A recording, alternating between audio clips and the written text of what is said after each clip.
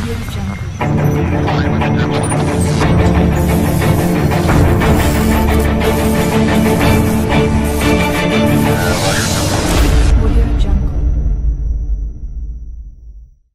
గనక సమయమును పోనివ్వక సద్వినియోగం చేసుకోమని అజ్ఞానుల వలె కాక జ్ఞానుల వలె ప్రవర్తించమని.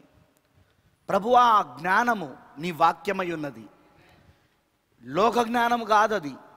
నీ వాక్య జ్ఞానము ఆ వాక్య జ్ఞానము ప్రకారముగా మేము ప్రవర్తించాల్సిన సమయంలో ఇప్పుడు ఉన్నాం ప్రభువ. అంతేకాదు మా సమయాన్ని ఇప్పుడు మేము వ్యర్థపరచుకోకూడదు. వ్యర్థముగా పోనివ్వకూడదు ఇప్పుడు మా సమయాన్ని. మా సమయాన్ని మేము ఇప్పుడు ఖచ్చితంగా ప్రభువా తండ్రి ఏసయ్యా ఇప్పుడు మేము ఖచ్చితంగా మా సమయాన్ని తండ్రి వ్యర్థముగా పోకుండా సద్వినియోగం చేసుకునే గొప్ప భాగ్యాన్ని ఇప్పుడు మాకు ఇచ్చావు దేవా. ఎందుకంటే నిజంగానే దినములు చెడ్డగా ఉన్నాయి. అంత్య దినములో అపాయకరమైన కాలములు వచ్చునని చెప్పినట్టుగా ఆ కాలములు ఇప్పుడు మేము చూస్తూ ఉన్నాం దేవా. ప్రభువా ఎటు చూసిన అపాయమే ఎటు చూసిన దుర్దినములే. ఇలాంటి గొప్ప సమయంలో అవిశ్వాసులకైతే ఇది భయంకరమైన సమయము కానీ విశ్వాసులకైతే ఇది మహిమకరమగు సమయము. ఎందుకంటే వాళ్ళు ఇప్పుడు నీతో సమయాన్ని గడుపుతూ ఉన్నారు. ఎస్ లార్డ్ వాళ్ళు నీతో సమయాన్ని గడుపుతూ ఉన్నారు వాళ్ళు. నీతో ఈ సమయాన్ని గడపడం అంటే అది ఎంతో గొప్ప కృపై ఉన్నది ప్రభువా. మరి ముఖ్యంగా ఈ రోజున మరి వచ్చిన నీ పిల్లలందరినీ దీవించు ప్రతి వారిని ఆస్వాదించు. ఎవరెవరైతే ప్రభువా ఆయా ప్రదేశాలలో ఆయా ప్రాంతాలలో ఆయా దేశాలలో ఇప్పుడు నీ వర్తమానమును వినుటకు సమకూడి ఉన్నారో నీ పక్షిరాజు పిల్లలందరినీ దీవించమని కోరుతున్నాను. ఎందుకంటే వాళ్ళు ప్రపంచం మొత్తంలో ప్రభువా నీ పక్షిరాజు పిల్లలు ఇప్పుడు కూడుకొని ఉన్నారు తండ్రి. ఖచ్చితంగా వాళ్ళు ఏ ప్రాంతంలో ఉన్నా ఏ దేశంలో ఉన్నా ఈరోజు వాళ్ళు దీవించబడుదురు కాక వారి యొక్క వారి యొక్క ఆకలి దాహము నీ వాక్యము చేత తీర్చబడును కాక తప్పకుండా నీ పరిశుద్ధ ఆత్మ ఈరోజు కావలసినది ప్రతి ఒక్కరికి ఇచ్చినట్లు సహాయం చేయి. మరి నన్ను నేను కూడా సమర్పించుకుంటున్నాను. ఇదిగో నీ రక్తం క్రింద మేము ఆపాదించుకుంటున్నాం. ఎందుకంటే గొర్రెపిల్ల రక్తం ఒక్కటే మమ్మల్ని రక్షించగలదు. గొర్రెపిల్ల రక్తం ఒక్కటే మమ్మల్ని ఏ తెగులు మా గుడారమును సమీపించకుండా కాపాడగలదు. అవును ప్రభా మహోన్నతుని చాటున నివసించువాడే సర్వశక్తిని నీడను విశ్రమించువాడని వాక్యం అంటుంది మేము సంపూర్తిగా నమ్ముతా ఉన్నాం ప్రభువ. ఈ రోజున ప్రభువా నీ దైవిక స్వస్థత పైన మాకు నమ్మకం ఉన్నది. ఖచ్చితంగా నువ్వు దైవిక దైవికంగా స్వస్థపరిచే దేవుడవై ఉన్నావు. మరి ప్రవక్త చెప్పినట్టు ఎప్పుడైతే ఈ వైద్యులు చేతులు ఎత్తేస్తారో ఈ శాస్త్రవేత్తలు చేతులు ఎత్తేస్తారో ఎప్పుడైతే సైన్స్ ఆగిపోతుందో అక్కడి నుండి దేవుడు పనిచేయడం మొదలు పెడతాడన్నాడు. ఎస్ లాట్ ఇప్పుడు నీవే పనిచేస్తున్న దినములు ఇవి. నీ వధువుకి నీ పెళ్ళి కుమార్తెకు పనిచేస్తున్న దినాలు ఇవి. నువ్వు మమ్మల్ని క్షేమముగా నీ రక్తం క్రింద ఉంచినందుకు స్తోత్రం. మమ్మల్ని క్షేమముగా ప్రభువా ఇప్పుడు నీ సన్నిధిలో మమ్మల్ని సమకూర్చినందుకు నీకు కృతజ్ఞతాస్థుతులు చెల్లిస్తున్నాం. మేము ప్రపంచంలో మేము ఇప్పుడు ఈ కూటములో ప్రపంచంలో ఆయా దేశాలలో ఆయా రాష్ట్రాలలో ఆయా జిల్లాలలో ఆయా ప్రాంతాలలో మేము ఇప్పుడు ఉండొచ్చు. కానీ క్రీస్తు యేసులో ఇప్పుడు పరలోకపు స్థలంలో మేము సమకూర్చబడి ఉన్నాము. ఎస్ మేమందరం ఇప్పుడు ఒక దగ్గరే ఐక్యతలో ఉన్నాం దేవా. ఒక దగ్గరనే మేము ఇప్పుడు ఐక్యతలో ఉన్నాం. ఒకే స్థలంలో ఉన్నాం మేము ఇప్పుడు. అదే క్రీస్తు యేసులో పరలోకపు స్థలములలో ఉన్నాం ప్రభువా. ఇది క్రీస్తు యేసులో పరలోకపు స్థలములలో సమకూర్చబడుటై ఉన్నది. ఈ గొప్ప తరుణమును మాకు ఇచ్చినందుకు నీకు కృతజ్ఞతాస్థుతులు చెల్లిస్తున్నాను. ప్రభు అయిన దేవా నన్ను నేను పూర్తిగా సమర్పించుకుంటున్నాను. మరి ఇక్కడున్న నీ పిల్లలను అదేవిధంగా ప్రపంచవ్యాప్తంగా నీ వధువుని నీకు అప్పగిస్తున్నాం. పూర్తిగా నీ రక్తము క్రింద నీ పిల్లలను నువ్వు దాచుంచమని కోరుతున్నాను. విశ్వాసం ఇవ్వు నీ దైవిక స్వస్థత పైన. విశ్వాసం ఇవ్వు నీ గొర్రెపిల్ల రక్తం పైన. విశ్వాసం ఇవ్వు ఆ మొదటి నిర్గమములో ఇజ్రాయేలు భౌతికమైన ఒక సాదృశ్యం ఒక ఛాయలో ఉన్న గొర్రెపిల్ల రక్తం కింద ఉన్నారు వాళ్ళు.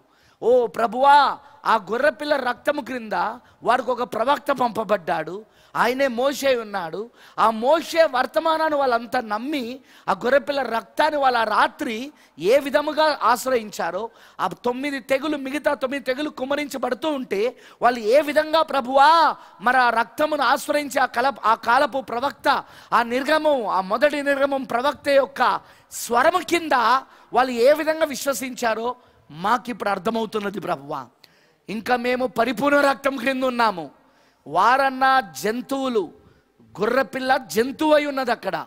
జంతువు రక్తం కింద ఉన్నారు మేమిప్పుడు ప్రభు అయిన దేవా నీవే స్వయంగా ఈ భూమి పెక్కొచ్చి మా కోసము రక్తం కార్చిన లోక పాపలం మోసుకపోయిన గొర్రెపిల్లవు నువ్వు.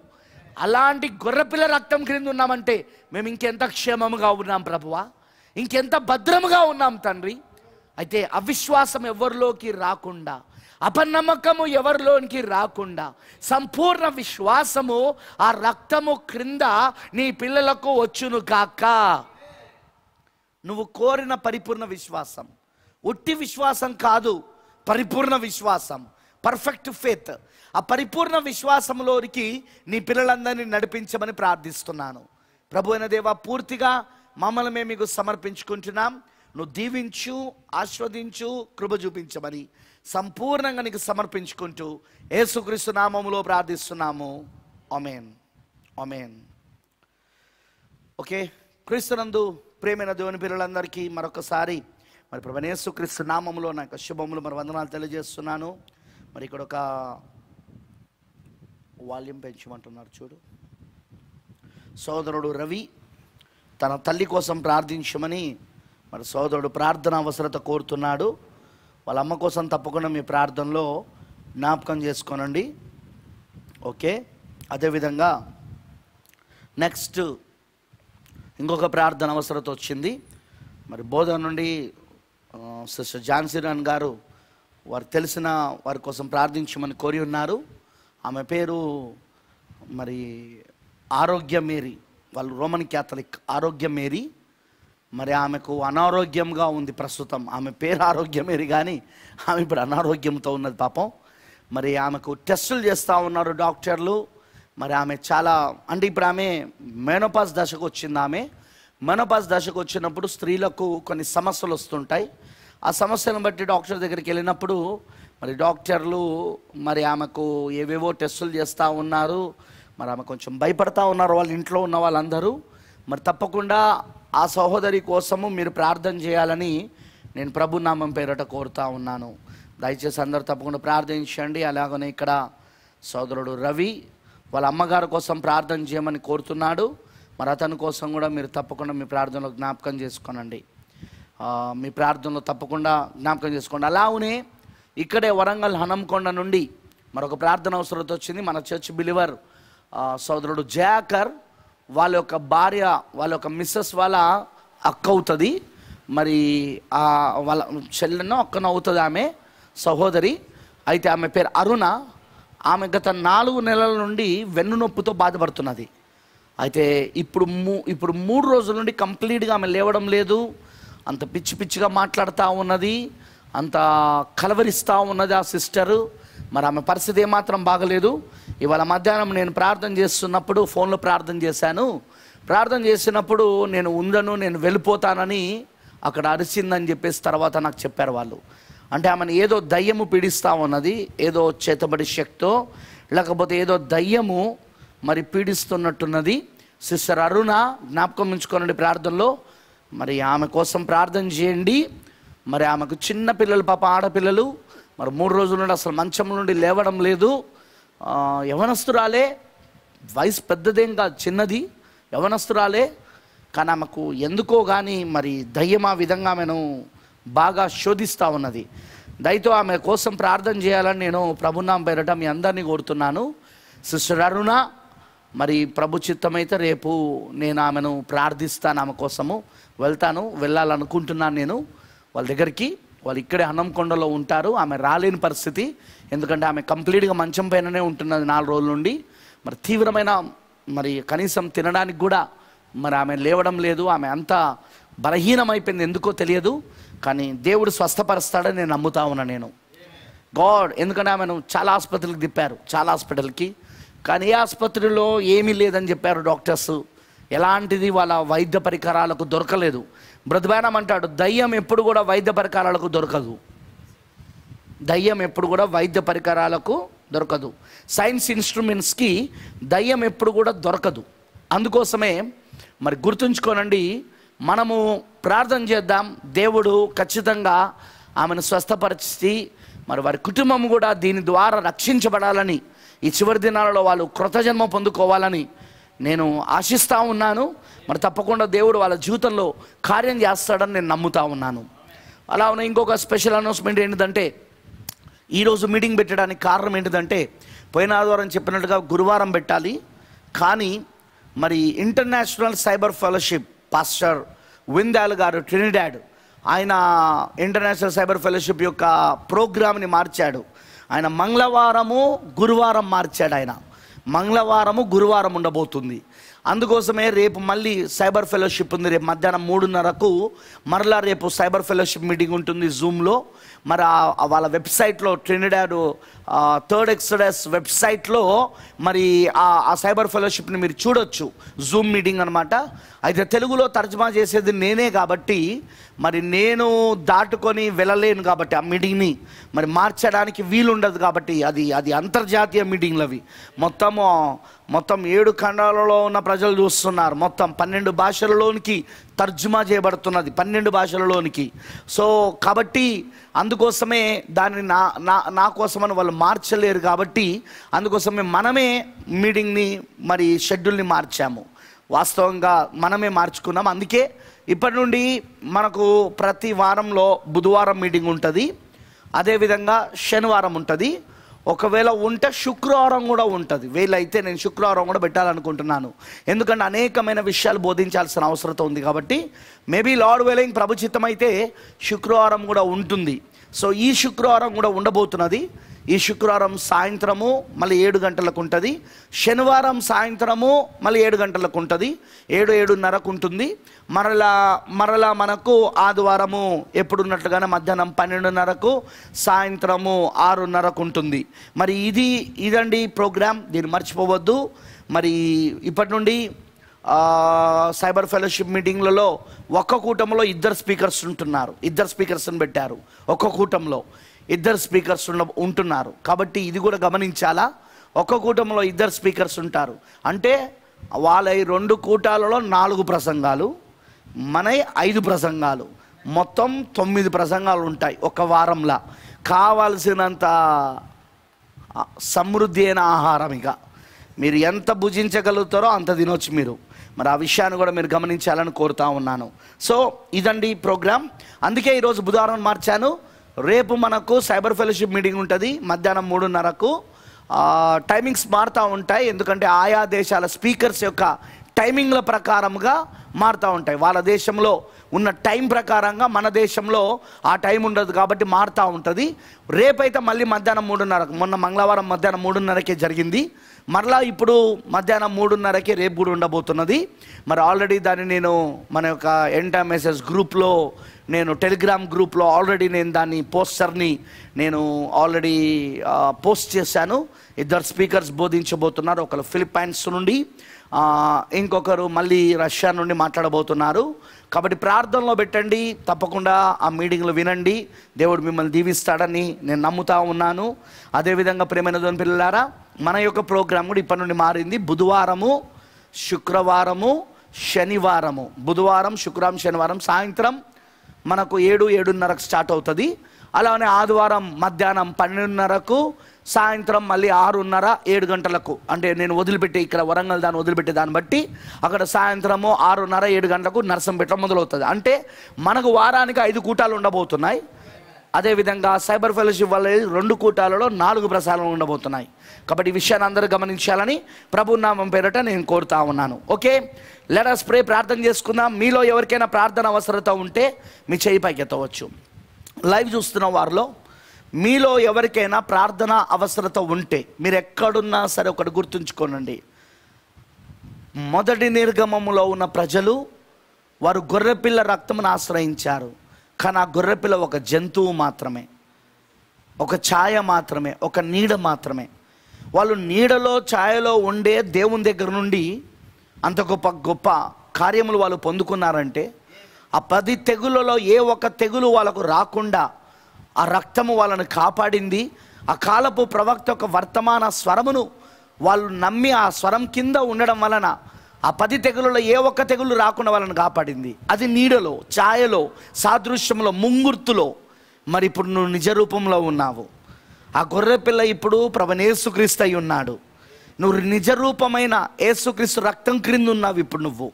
ఈ గడియ ప్రవక్త మూడవ నిర్గమము ప్రవక్త విలియం బ్రెనామ్ యొక్క వర్తమానము స్వరము కింద నువ్వు ఇప్పుడు ఉన్నావు నువ్వు ఇప్పుడు ఆ గొర్రెపిల్ల రక్తం ఎక్కడో లేదు. ఈ కాలపు ప్రవక్త తీసుకొచ్చిన వర్తమానములో వాక్యంలో ఉన్నది. ఇప్పుడు నువ్వు దాన్ని నమ్మితే గనక దేవుని దగ్గర నుండి నువ్వు గొప్ప కార్యాలు పొందుకుంటావు. దేవుని దగ్గర నుండి నువ్వు గొప్ప అద్భుతములు గొప్ప ఆశ్చర్య కార్యాలు పొందుకుంటావు. ఎందుకంటే వాళ్ళు ఎడ్ల రక్తం క్రింద మేకల రక్తం క్రింద గొర్రెల రక్తం క్రింద ఉండే దేవుని దగ్గర నుండి అన్ని కార్యాలు పొందుకుంటే మనం పరిపూర్ణమైన యేసుక్రీస్తు రక్తం కింద ఉన్నాం మనం ఈ రోజున. దేవుడు తన స్వరక్తం ఇచ్చి సంపాదించిన సంఘం అని బైబిల్ అంటా ఉన్నది. మనం ఈరోజు దేవుని రక్తం క్రింద ఉన్నాం ఈ రోజున. మరి దేవుడే తన రక్తాన్ని మన కోసం కార్చాడు. ఆ ఇమ్మానియేలు రక్తపు ఊటలో నుండి వచ్చిన ఆ గొప్ప స్వస్థతను ఈరోజు నువ్వు పొందుకోగలుగుతావు. ఎందుకంటే ఆ- ఇమ్మానేలి యొక్క ఆ నరములలో నుండి కారిన ఆ రక్తములో శక్తి ఉంది ఇంకా. నువ్వు నమ్మితే శక్తి ఉంది ఇంకా. అది కాలపు వాక్యములో ఉంది ఇప్పుడు ఆ రక్తం. నువ్వు ఆ రక్తం క్రిందుండు. దేవుని దగ్గర నుండి గొప్ప కార్యములు నువ్వు పొందుకోగలుగుతావు. లడస్ ప్రే ప్రార్థన చేసుకుందాం. మరి మీలో ఎవరైనా సరే అవసరత ఉంటే అది మీకోసమైనా మీరు ప్రేమించే మీ ప్రియులు మీ స్నేహితులు మీ బంధువులు ఎవరైనా కావచ్చు ఎవరి కోసమైనా నువ్వు దేవుని దగ్గర విజ్ఞాపన చేయొచ్చు. నీ చేయి పైకెత్తి ఒక్కసారి జ్ఞాపకం చేసుకో తండ్రి అని ఆ ప్రధాన యాజకుణ్ణి నువ్వు ఒకసారి నువ్వు తాకి చూడు. ఆ ప్రధాన యాజకుణ్ణి నువ్వు ఇప్పుడు తాకితే ఖచ్చితంగా ఈరోజు నువ్వు ఆయన దగ్గర నుండి నువ్వు కోరుకున్న దాన్ని పొందుకోగలుగుతావు. లడస్ ప్రే ప్రార్థన చేసుకుందాం. పరిశుద్ధుడా సర్వశక్తిమంతుడా కృపామడవన దేవ కృపా సత్య సంపూర్ణుడా నీకు వందనాలు తండ్రి. ఈ రాత్రికాల సమయంలో ఇదిగో నీ పిల్లలు చేతులెత్తి ఉన్నారు ప్రభువా. ఎందుకంటే వాళ్ళు ఏదో అవసరతలో ఉన్నారు కాబట్టే వాళ్ళు చేతులెత్తి ఉన్నారు. ఆ అవసరత అది వారి కోసమైనా కావచ్చు లేదా వాళ్ళు ప్రేమించే వాళ్ళ ప్రియుల కోసమైనా కావచ్చు. ఏదైనాను మేము ఆ గొర్రెపిల్ల రక్తం క్రిందికి ఆ అవసరతను తీసుకొస్తున్నాము. రోగమునైనను వ్యాధినైనను అవసరతలనైనను సమస్యలనైనను ప్రభువా ఏదైనా కావచ్చు. అది ఇప్పుడు గొర్రెపిల్ల రక్తం క్రింద మాత్రమే మాకు పరిష్కారం ఉంది దేవా. సైన్స్ విఫలమైపోయింది. విజ్ఞాన శాస్త్రం విఫలమైపోయింది. డాక్టర్లు విఫలమైపోయారు. మానవ జ్ఞానము విఫలమైపోయింది. ప్రభువా ఇప్పుడు నీ యొక్క స్వస్థత ఎంతో గొప్పదిగా ఇప్పుడు ఉన్నది ప్రభువా. ఎవరికైనా నిరీక్షణ ఇప్పుడు నీ రక్తం ఒకటే తండ్రి. నువ్వు ఇచ్చే స్వస్థత ఒకటే ప్రభువా. అందుకే ఎవరెవరికి ఏ ఏమి కావాలో అది స్వస్థత కావలసిన వారికి యేసు క్రీస్తు నామములో వాళ్ళు స్వస్థత పొందుదురు గాక. ప్రభు అయిన యేసుక్రీస్తు నామములో ఇప్పుడే వారికి ఉన్న ప్రతి రోగములో నుండి ప్రతి వ్యాధుల నుండి ప్రతి విధమైన అనారోగ్యముల నుండి యేసుక్రీస్తు నామములో వదిలిపెట్టి వెళ్ళిపోను కాక ప్రభువా ప్రతి ఒక్కరిలో అనుమానము భయము సందేహము వణుకు నిరీక్షణ లేని జీవితము కనబడుతుంది ప్రభువ. ఎవరిలో ఏ కరోనా ఉన్నదో ఎవరిలో ఏ వైరస్ ఉందో ఎవరిలో ఏదుందో తెలియని పరిస్థితిలో అయోమయంలో చాలా గందరగోళంలో ప్రపంచం ఉన్నది ఇప్పుడు. కానీ మేమైతే క్షేమంగా ఉన్నాము. ఎందుకంటే మేము రక్తం క్రింద ఉన్నాం ప్రభువా. నీ గొర్రెపిల్ల రక్తం క్రింద మేము ఉన్నాము. ఏసయ్యా నువ్వు సిలువలో చిందించిన రక్తం క్రింద ఉన్నాం మేము. మాకే అయోమయం లేదు మాకు ఎలాంటి గలిబిలు లేదు. ఎందుకంటే ప్రభువా నీ రక్తం మమ్మల్ని కాపాడుతుంది. కంటికి కనబడని ఆ వైరస్ దాని వెనకాల ఉన్నది ఒక దయ్యమని మాకు తెలుసు దేవా. ఆ దయ్యంతో మేము పోరాడుతా ఉన్నాం ఈ రోజున. పౌలు గారు చెప్పినట్టుగా ఎన్నడూ పోరాడినటువంటి అతి గొప్ప పోరాటం ఇది అన్నాడు ఆయన. అవును ప్రభువా మేమిప్పుడు ఆ దురాత్మ సమూహములతో పోరాడుతూ ఉన్నాము. మేమిప్పుడు ఆ దయపు శక్తులతో పోరాడుతూ ఉన్నాము. కాబట్టి మేము ఏ ఏ పరిస్థితిలో కూడా ఈ రోజున మేము దేనికి భయపడాల్సిన అవసరం లేదని మేము సంపూర్తిగా నమ్ముతా ఉన్నాం ప్రభువా. వి బిలీవ్ ఇట్ లాడ్ మేము నమ్ముతా ఉన్నాం. సంపూర్తిగా నమ్ముతా ఉన్నాం. పూర్తిగా ఆధారపడతా ఉన్నాం మేము. ఎందుకంటే ఆ రక్తమును మేము ఆశ్రయించున్నాం.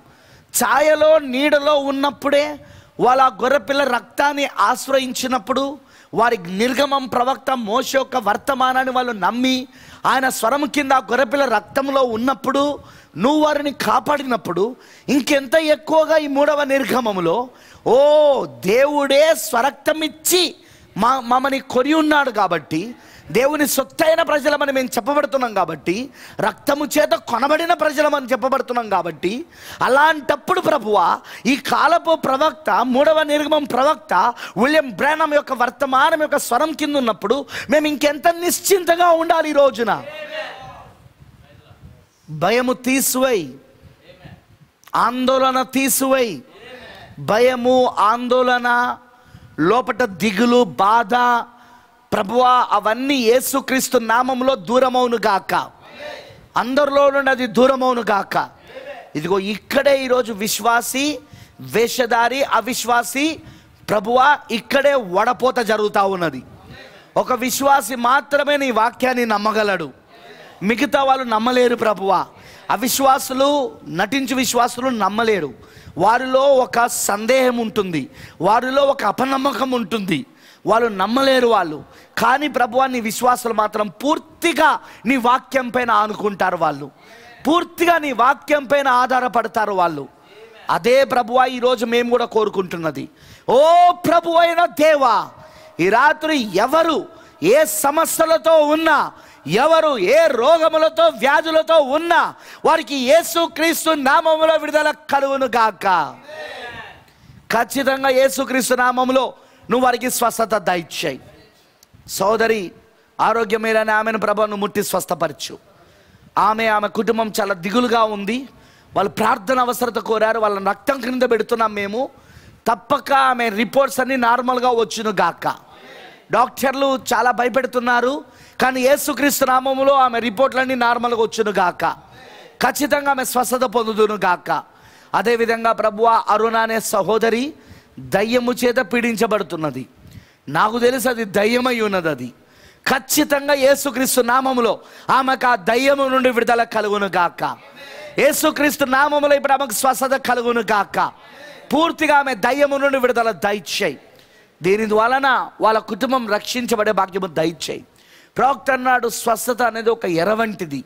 చేపను పట్టుకోవాలంటే నీకు ఎలాగైతే గాలానికి ఎరబెడతావో అదే విధంగా దేవుడు కూడా ఒక వ్యక్తిని పట్టుకోవడానికి స్వస్థత అనే ఎరను వాడుకుంటాడు అన్నాడు. బహుశా ప్రభువా ఇది ఎర కావచ్చు వాళ్ళకు.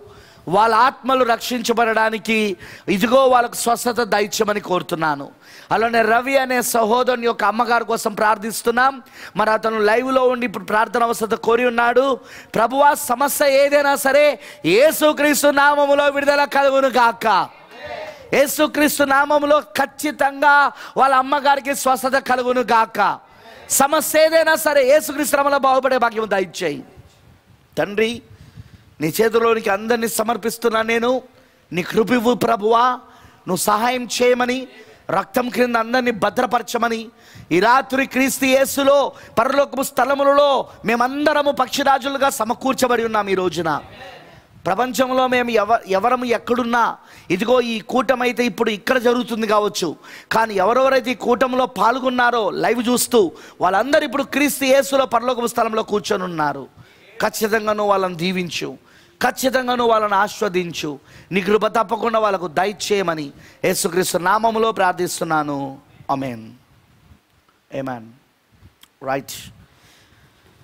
మనం నిలబడి ఉండగా పరిశుద్ధ గ్రంథంలోనికి వెళ్దాం. Let's go to the Bible పరిశుద్ధ గ్రంథంలో మనం ఇప్పుడు ఈరోజు నేను చాలాసేపు తీసుకోను. మేబీ ఐ థింక్ నేను అనుకుంటున్న ఒక గంట సేపు తీసుకుందాం అనుకుంటున్నాను. ఎందుకంటే మనం చదవాల్సిన ఆ కళలు ఏవైతే ఉన్నాయో ఆ రెండు కళలు మరి ఇంకా మనం చూసుకోలేదు. మనం ఇప్పటివరకు చూసింది ఏంటిదంటే సోదరుడు జూనియర్ జాక్సన్ కళ సోదరుడు బీలర్ కళ సోదరుడు రాయ్ రాబర్సన్ కళ సిస్టర్ కాలిన్స్ సిస్టర్ కాలిన్స్ కళ. కానీ యాదృచ్ఛికంగా ఒకరికి తెలవకుండా ఒకరికి ఆ కళ వచ్చినప్పుడు ప్రవక్త బ్రహ్నాం గారి దగ్గరికి వచ్చి దానిని చెప్పినప్పుడు అవన్నీ ఒకే దాని గురించి మాట్లాడుతున్నట్టు మనకు కనబడతా ఉన్నాయి. అదేంటిదంటే ప్రవక్త యొక్క పరిచర్య ఒక క్రొత్త పరిచర్య ప్రారంభం కాబోతున్నది. మూడో ఇడుపులో ఆయనకి ఇదివరకే పంతొమ్మిది వందల యాభైలలోనే ఆయనకు మూడో ఇడుపు పరిచర్య ప్రారంభమైంది. మనకు తెలుసు యాభైలలోనే ప్రారంభమైంది మూడవ ఇడుపు పరిచర్య. అదేంటిదంటే పలుకబడిన మాట ఒక పరిచర్య. అప్పటికే ఆయన పలుకబడిన మాట ఒక పరిచర్యలో ఆయన ఇదివరకే ముద్రలకు ముందే ఆయన ఉడతలు సృజించబడుట చూశాడు. వింటున్నారని చెప్పింది. పంతొమ్మిది వందల యాభై తొమ్మిదిలో అక్టోబర్ నవంబర్ నెలలో ఆయనకు ఏడు ఉడతలు పలకబడిన మాట ద్వారా సృజించబడుట చూశాడు. అదేవిధంగా అలా అలానే దానికంటే ముందే ఆయన ఒక చిన్న చేప చనిపోయిన చేప మరి అరగంట సేపు అది నీళ్ళలో తేలాడుతున్న చేప మరలా జీవాన్ని పొందుకొని బతకడం చూశాడు. అలానే ఆయన అప్పటికే ఆయనకు ఆ హార్నెట్స్ హార్నెట్స్ అంటే ఆ తేనెతీగలు ఆ తేనెటీగలు కూడా ఆయన ఆయన మాట పలికినప్పుడు అవి ఆయనకి హాని చేయకుండా అవి తిరిగి వాటి యొక్క తేనె తట్టలోనికి వెళ్ళిపోవడం కూడా ఆయన చూశాడు.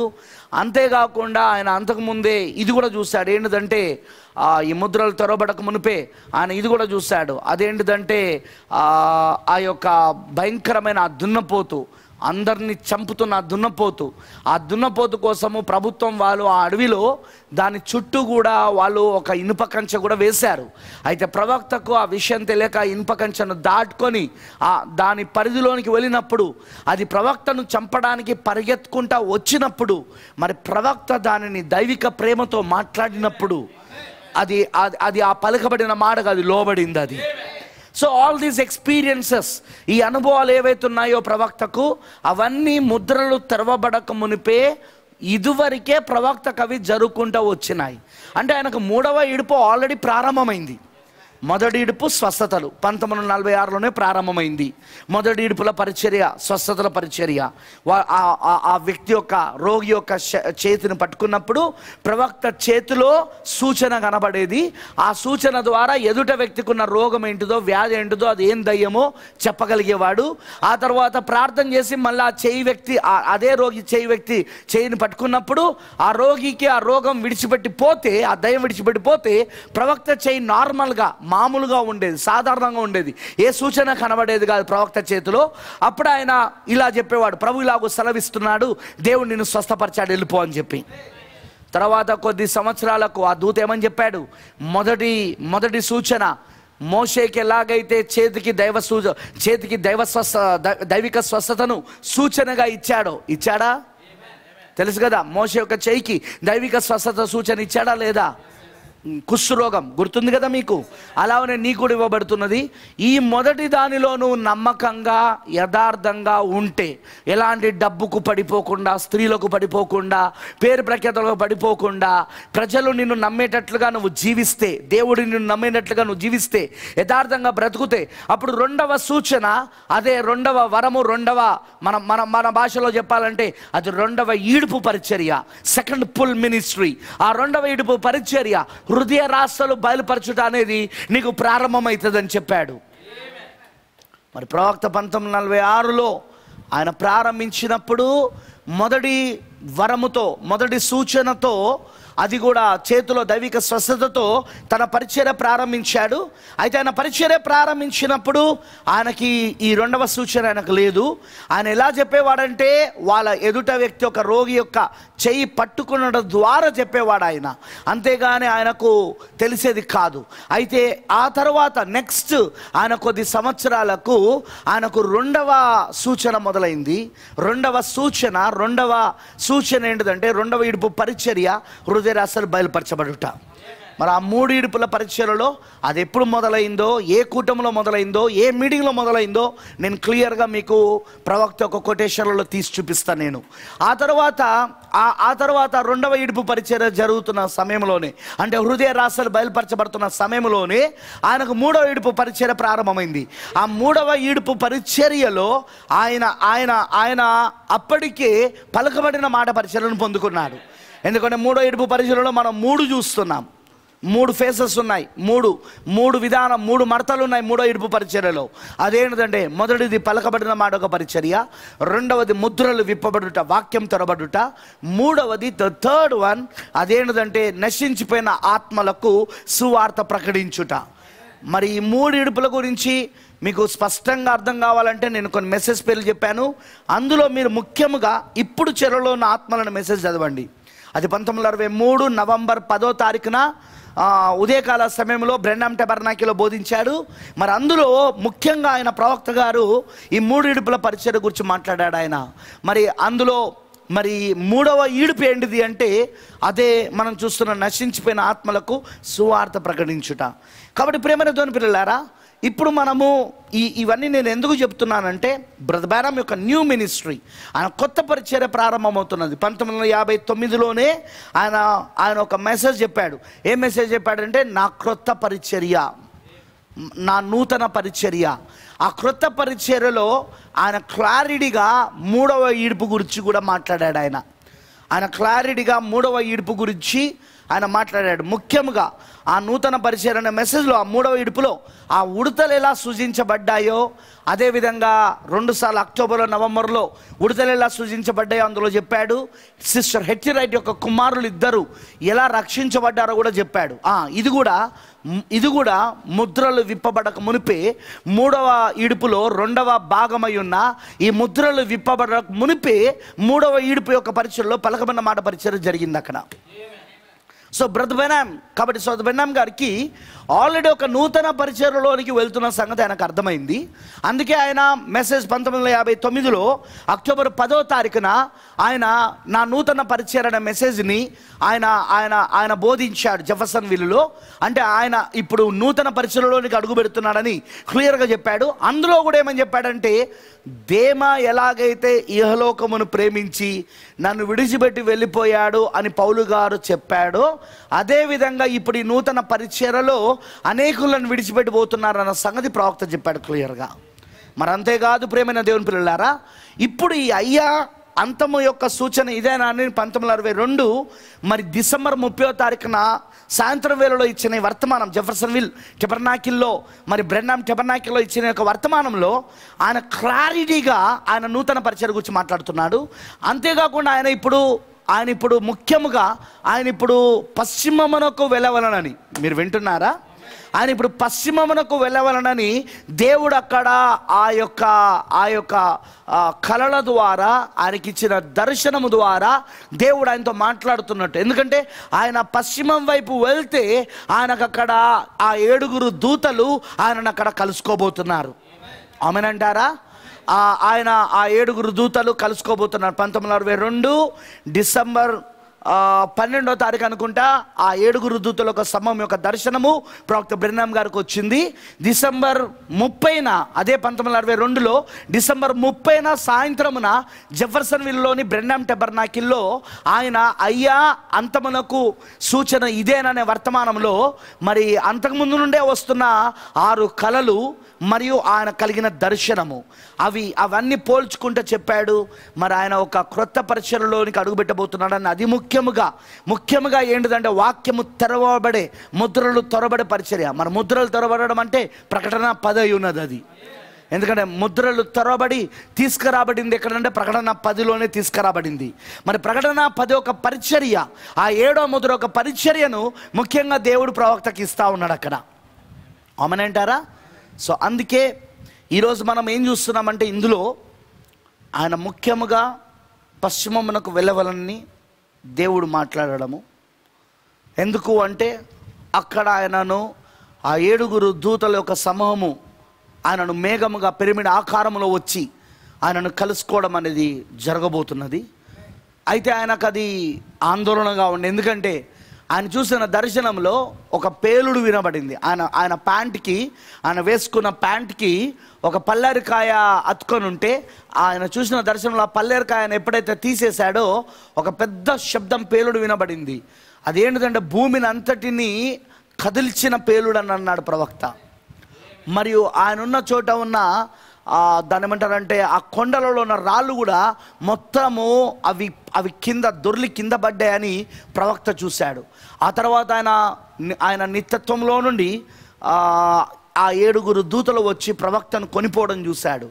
అయితే ఆయన అనుకున్నాడు తన మరణం అనుకున్నాడు ఆయన. బికాస్ కారణం ఏంటంటే నిత్యత్వంలో దూతలు రావడం పేలుడు రావడం ఆ పేలుడు జరగడం ఇదంతా ఆయన మరణం గురించి అనుకున్నాడు. అందుకే ఆయన ఒక ఆందోళనలో ఉండే ఆయన ఒక ఆయన ఒక ఆందోళనలో ఉండే అది ఏంటిదో తెలియక. కానీ దేవుడు ఆయనను కావాలనే సస్పెన్స్లో పెట్టాడు పోయిన ఆధ్వర్యం చెప్పాను. ఎందుకంటే చాలా విషయాలు ప్రవక్తలకు దేవుడు చాలాసార్లు సస్పెన్స్లో పెడతాడు. ఆయన కావాలనే పెడతాడు అది ఆయన ఉద్దేశం ఆయన ప్రణాళిక అది. ఆయన ఏదో జరిగించడానికి ఆయన అలాగూ పెడతాడు దాన్ని. కానీ తర్వాత ప్రవక్తలకు అది బయలుపరచబడతా ఉంటుంది. అమేన్ హలలుయ సో అది మనం చూస్తూ ఉన్నాం ప్రియులారా. సో అదే ఇప్పుడు మనము ఆ నాలుగు కళలో సోదరుడు జూనియర్ జాక్సన్ కళ సోదరుడు బీలర్ కళ సోదరుడు రాయ్ రాబర్సన్ కళ సిస్టర్ కాలిన్స్ కళ మనం చూసాం. ఈ రోజున మనం ఇంకా మిగతా ఇద్దరు కళలు కూడా చూడబోతున్నాం. So let's turn to the Bible ఇప్పుడు పరిశుద్ధ గ్రంథం వైపు తిప్పండి. నాతో పాటు ఒకసారి మరి ప్రకటన గ్రంథానికి రండి.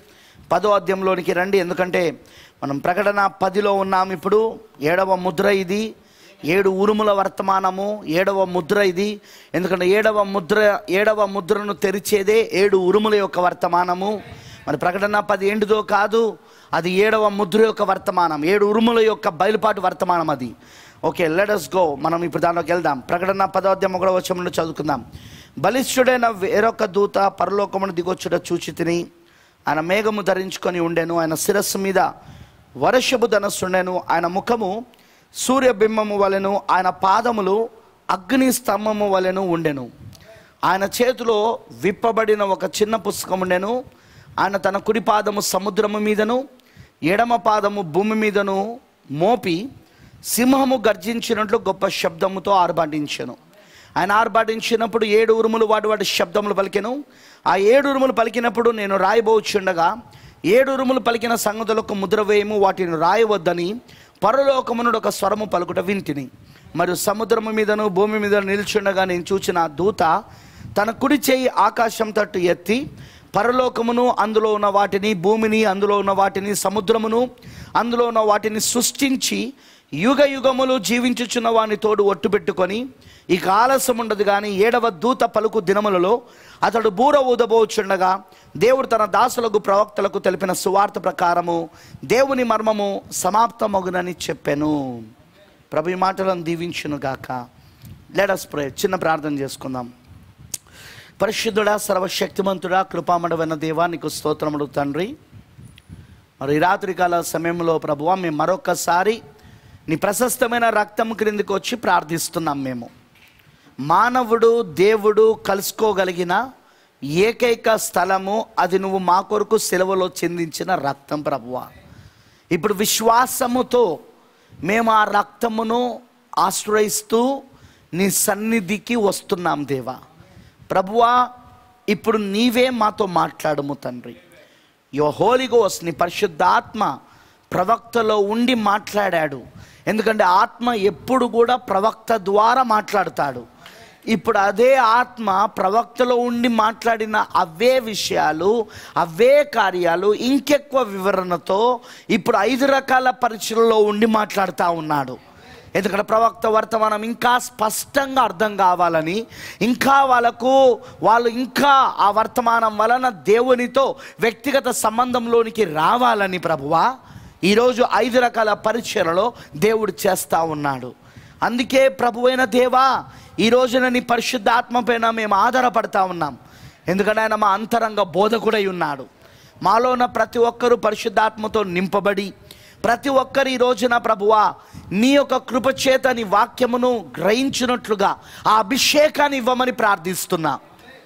ప్రభువా మనుషుల హృదయాలు భయముతో నిండిపోయి ఉన్నవి. దేశాలు విభజించబడుతున్నాయి. దేశాలు భయముతో కుప్పగూలిపోతున్నాయి. ప్రభువ ఎక్కడ చూసినా ఇదిగో తండ్రి మరణమే కనబడుతున్నది ప్రభువ. ఎక్కడ చూసినా చీకటే కనబడుతున్నది. ఒక్కటే ఒక్కటి మా నిరీక్షణ అది నీ యొక్క రక్తం క్రింద ప్రభువ. అందుకే ఆ రక్తం క్రిందికి వచ్చి నేను ప్రార్థిస్తున్నాను. వచ్చిన నీ పిల్లలను వింటున్న నీ బిడ్డలందరినీ దీవించు. మేమందరం ఇప్పుడు క్రీస్తు యేసులో పర్లోక స్థలంలో పక్షిరాజు పిల్లలుగా ఇప్పుడు మేము సమకూడి ఉన్నాం ప్రభువా.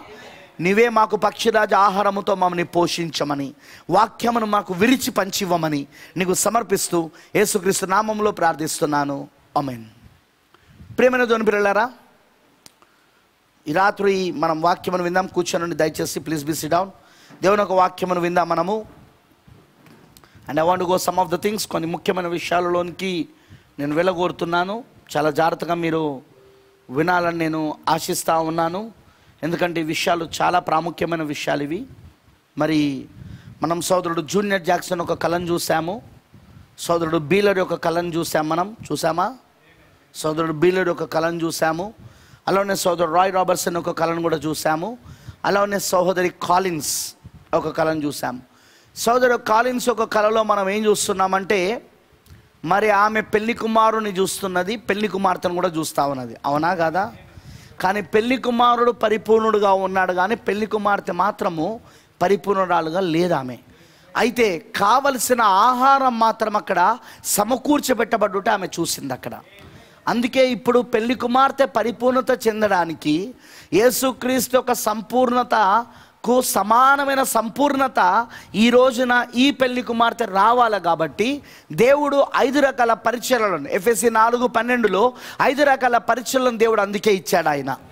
అవునంటారా ఈ ఐదు రకాల పరిచయలు ఒక పని ఏంటంటే ఏదైతే మనకు ఆహారము మరి అక్కడ అక్కడ నిలిచి ఉన్నదో అంటే ఆహారము సమకూర్చబడి ఉన్నదో దేవుడు ఇచ్చాడో ఆ ఆ ఏడవ దూత ద్వారా ఆ ఆహారాన్ని ఈ రోజున ఈ ఐదు రకాల పరీక్షలలో ఉన్న సేవకులు ఏం చేస్తారంటే వాళ్ళ ఆహారాన్ని ఈ యొక్క పరిపూర్ణతలో లేని ఈ పెళ్ళి కుమార్తెకు వడ్డించుడు ద్వారా ఇప్పుడు ఆ ఆమె ఆ ఆహారాన్ని తిని ఇప్పుడు ఆ ఐదు రకాల పరీక్షలో వాళ్ళు పెట్టే ఆ ఏడవ దూత యొక్క వర్తమానం యొక్క ఆహారాన్ని తిని ఆమె ఏమవుతుందంటే యేసుక్రీస్తు యొక్క సంపూర్ణతకు సమానమైన సంపూర్ణతగా ఆమె మారుతుంది ఆమె. మరి పరిపూర్ణతలోనికి వస్తుంది ఇప్పుడు ఆమె. ఆమెనంటారా ప్రవక్త పంతొమ్మిది వందల అరవై రెండు డిసెంబర్ ముప్పై సాయంత్రం అయ్యా అంతం యొక్క సూచన ఇదైన వర్తమానంలో నూట నలభై నాలుగో పారాగ్రాఫ్లో ఇలా అంటున్నాడు. ఇప్పుడు ఆ ఆహారము వధువు పరిపూర్ణంగా లేదు అయితే వరుడు పరిపూర్ణంగా ఉన్నాడు. వధువు ఇంకనూ పరిపూర్ణము కాలేదు. ఆమెకి ఇవ్వబడిన ఆహారము బాహ్యమైన అంటే శరీర సంబంధమైన ఆహారము కాదు. అది మీరు కలుగుండు ఆత్మీయ ఆహారము. ఆమెనంటారా? ఇక్కడ నాలుగో కలయందు నేను ఒక నిమిషము ఆగి ఉండవలసి ఉన్నది. ఆమెనంటారా? మరి ఇప్పుడు మీకు మీకు అర్థమైందా? ఇక్కడ ప్రవక్త ఏం చెప్తున్నాడు? సో ఇప్పుడు ఇప్పుడు సహోదరి కాలిన్స్ యొక్క ఈ యొక్క కళ ప్రకారముగా ఇప్పుడు ఇప్పుడు ఇప్పుడు ఈ యాభై ఐదేళ్ళు పంతొమ్మిది వందల అరవై ఐదులో ప్రవక్త బ్రెన్నాం గారు వెళ్ళిపోయారు భూమిపై నుండి. తెలుసు కదా? పంతొమ్మిది వందల తొమ్మిది మరి ఏప్రిల్ ఆరో తారీఖున ఉదయం ఐదు గంటలకు ప్రవక్త బ్రెన్నాం గారు మరి జన్మించాడు. మరి కెంటికిలో ఆయన జన్మించాడు. అమెరికా దేశంలో కెంటికిలో ఆయన జన్మించాడు. ఆ తర్వాత మరి పంతొమ్మిది వందల అరవై ఐదు డిసెంబర్ ఇరవై నాలుగో తారీఖున ఆయన సాయంత్రము ఆయన సాయంత్రము ప్రభునందు నిద్రించాడు. మొత్తము యాభై ఆరు సంవత్సరాలు ఈ భూమిపైన ప్రవక్త బ్రహ్మం గారు జీవించాడు. ఈ యాభై ఆరు సంవత్సరాలు ఆయన ఒక పరిచర్య ఏంటిది అంటే ప్రకటన పదో అధ్యాయము ఏడవ వచనం ప్రకారముగా ఆయన ఏడవ దూతగా ఉండి దేవుని మర్మమంతా సమాప్తం చేయాలి. మలాకి నాలుగో అధ్యాయం ఐదారు వచనాల ప్రకారముగా ఆయన రెండవ రాకడ ముందు పంపబడిన ఏలియాగా ఉండి పిల్లల హృదయాలను తండ్రులు తట్టు తిప్పాలి ఇవేనా ప్రధానమైన పరిచయలు అయినవి? అమనంటారా ఓకే. ఇప్పుడు ఈ పరిచయలు ఏవైతే ఉన్నాయో మీరు గమనిస్తే ఆయన ఆయన పరిశీలన చేసి ముగించి వెళ్ళిపోయాడు. అయితే పంతొమ్మిది వందల అరవై ఆరు నుండి ఇప్పుడు రెండు వేల ఇరవై వరకు ఈ యాభై ఐదు సంవత్సరాల్లో ఏం జరుగుతున్నది అంటే మరి ఎఫ్ఎస్సి నాలుగో అధ్యాయంలో పన్నెండవ వచనంలో చెప్పినట్టుగా దేవుడు కొందరిని అపోస్తులు గాను కొందరిని ప్రవక్తలు గాను కొందరిని సువార్థికులు గాను కొందరిని కాపలు గాను కొందరిని ఉపదేశకులు గాను ఆయన నియమించాడు. ఎందుకోసం నియమించాడు అంటే పరిచర్య ధర్మం జరగడానికి. అంతేకాదు పరిశుద్ధులు సంపూర్ణులు అవ్వడానికని. ఇంకా మనం కొన్ని కారణాలు చూస్తా ఉన్నాం. ఉన్నాం అక్కడ. పరిశుద్ధులు సంపూర్ణులు కావాలని యేసుక్రీస్తు యొక్క సంపూర్ణతకు సమానమైన సంపూర్ణత పొందుకోవాలని మరియు మరియు పరిశుద్ధులు సంపూర్ణులు కావాలని క్రీస్తు యొక్క శరీరం క్షేమాభివృద్ధి పొందాలని ఇలా కొన్ని కారణాలు అక్కడ మనం చూస్తా ఉన్నాం. అంటే ఈ ఐదు రకాల పరిచయాలను దేవుడు ఎందుకు వాడుకుంటున్నాడంటే సార్వత్రికంగా ఉన్న క్రీస్తు యొక్క శరీరం అనబడుతున్న వధువుని ఆ సంపూర్ణతలోనికి నడిపించడానికి ఆ పరిపూర్ణతలోనికి నడిపించడానికే దేవుడు వాడుకుంటున్నాడు. అయితే ఆ పరిపూర్ణతలోనికి వీళ్ళు ఎలా నడిపించగలరంటే ఇక్కడ సిస్టర్ కాలిన్స్ యొక్క ఈ యొక్క ఈ యొక్క కళ ప్రకారముగా ప్రవక్త చెప్పిన దాని ప్రకారముగా ఏదైతే ఆయన ఈ ఆహారాన్ని సమకూర్చి పెట్టాడో ప్రవక్త ఏడవ దూత ద్వారా ఏదైతే దేవుడు ఆహారాన్ని సమకూర్చి పెట్టాడో ఆ ఆహారాన్ని ఇప్పుడు ఐదు రకాల పరిచయలు వారు వధువుకి అందించడం ద్వారా ఇప్పుడు వాళ్ళు పరిపూర్ణతలోనికి వస్తారు. చూడండి క్లియర్గా మనకు అర్థమవుతుంది. ఏడవ ఏడు ముద్రల యొక్క ఆహారం అది. ఎందుకంటే వారు చూసిన దర్శనం ప్రకారంగా ఇంకా వధువు పరిపూర్ణతలో లేదు. మరి వధువు పరిపూర్ణతలోకి ఎలా వస్తుంది? ఏడు ముద్రల ద్వారా. The seven seal message. ఏడు ముద్రల వర్తమానం. ఎందుకంటే ఏడు ఏడు ముద్రల యొక్క వర్తమానం ఏంటిది? జగత్తు పునాది వేయబడక మునుపు లోక పునాదులు వేయబడక మునుపు దేవుడు మాత్రమే ఒంటరిగా ఉన్నప్పుడు ఆయన ఆయన మనస్సులో ఆయన ఎల్ ఎలా ఎలోహిముగా ఉన్నప్పుడు ఆయన మనస్సులో ఆ వెనక భాగములో దాగున్న రహస్యము ఏదైతే ఉందో అదే ఏడు ముద్రల యొక్క గ్రంథమై ఉన్నది. ఇప్పుడు ఆ గ్రంథం తెరబడడం వలన ఆ రహస్యం తెరబడడం వలన వధువు ఇప్పుడు ఆ పరిపూర్ణతలోనికి వస్తా ఉన్నది. మనం దాన్ని ఏడవ ముద్రలో మూడు మడతల యొక్క మర్మముగా చూస్తూ ఉన్నాం. అవునంటారా మనం దాన్ని చదివాం కూడా. దేంట్లో అంటే దేవుని మర్మమైన క్రీస్తు బయలుపరచుడు అనే వర్తమానంలో. ముందు ఆ మర్మమును దేవుడు ఆ రహస్యాన్ని ఏసుక్రీస్తులో పెట్టాడు. ఇప్పుడు ఏసుక్రీస్తులో ఉన్న మర్మమును ఇప్పుడు ఆయన ఎవరిలో పెడుతున్నాడంటే ఆయన తన వధువులో కుమరిస్తా ఉన్నాడు ఇప్పుడు ఆయన. ఆమెనంటారా? అదే దేవుడు ఏమై ఉన్నాడు అదంతయు ఆ దైవత్వం అంతయు సర్వ పరిపూర్ణత ఆ దైవత్వం యొక్క సర్వ పరిపూర్ణత శరీరముగా క్రీస్తులో కుమరించబడతా ఉన్నది. క్రీస్తులో ఆమెనంటారా? ఇప్పుడు క్రీస్తు ఏమై ఉన్నాడో అదంతయు కూడా శరీరముగా వధువులో కుమరించబడతా ఉన్నది. అందుకే ఇప్పుడు వధువు ఏమవుతున్నదంటే యేసుక్రీస్తు యొక్క సంపూర్ణతకు సమానమైన సంపూర్ణతలో మారుతా ఉన్నది ఆమె. ఎలా అంటే ఇప్పుడు ఆయన ఆమె ఒకడవుతా ఉన్నారు. శరీరము శిరస్సు ఒకటవుతా ఉన్నది. వరుడు వధువు ఒకటవుతా ఉన్నారు. పెళ్ళి కుమారుడు పెళ్ళి కుమార్తె ఏకమవుతా ఉన్నారు ఇక్కడ. అలలుయా మరి ఎప్పుడైతే పెళ్ళి కుమారుడు పెళ్ళి కుమార్తె ఏకమవుతున్నారో ఇప్పుడు ఆయన సంపూర్ణతలోనికి ఈమె కూడా వచ్చేసింది ఇప్పుడు. అర్థమైన వాళ్ళందరూ చెప్పండి? సో జాగ్రత్తగా మీరు గమనించాల్సిన విషయం ఏంటంటే ప్రేమైన దేవు దేవుని పిల్లలారా ఇప్పుడు మనం మనం చూస్తున్నది ఏంటంటే ఈ నాలుగవ కళ ప్రకారముగా అందుకే ఇంకా పెళ్ళి కుమార్తె పరిపూర్ణలోకి రాలేదు. కానీ ప్రవక్త తీసుకొచ్చే వర్తమానం ఆ ముద్రలు తెరవబడుట. ఆయన అందుకే పశ్చిమంకు వెళ్తున్నాడు. ముద్రలు తెరవబడబోతున్నాయి. అక్కడ ఏడుగురు దూతలు ఆయనకు రాబోతున్నారు. దానికంటే ముందు సబినో కనియంలో ఆయన చేతికి రాజఘటకం ఇవ్వబడబోతున్నది. రాజు యొక్క కడగం కాదు రాజఖడ్గం ప్రపంచంలో ఒకే ఒక రాజు ఉన్నాడు. ఆయనే రాజులకు రాజు ప్రభులకు ప్రభు అయిన యేసుక్రీస్తై ఉన్నాడు. మరి ఆయన ఖడ్గం ఏంటిది? ఆయన నోటి నుండి వస్తున్న రెండంచులు గల వాడి అయిన ఖడ్గము అది దేవుడు వాక్యమై ఉన్నది. హెబ్రి నాలుగు పన్నెండు ప్రకారముగా అది దేవుడు వాక్యమై ఉన్నది. అంటే ఇప్పుడు దేవుని వాక్యమనే ఆ రాజ ఖడ్గము ఇప్పుడు ఎవరికి ఇవ్వబడుతున్నదంటే ఇప్పుడు ఇప్పుడు ప్రవక్త బ్రినాంకి ఇవ్వబడుతున్నది. మరి ప్రవక్త దానితో జూనియర్ జాక్సన్ కళ ప్రకారముగా ఆ పై చిప్ప తీస్తున్నాడు ఆయన.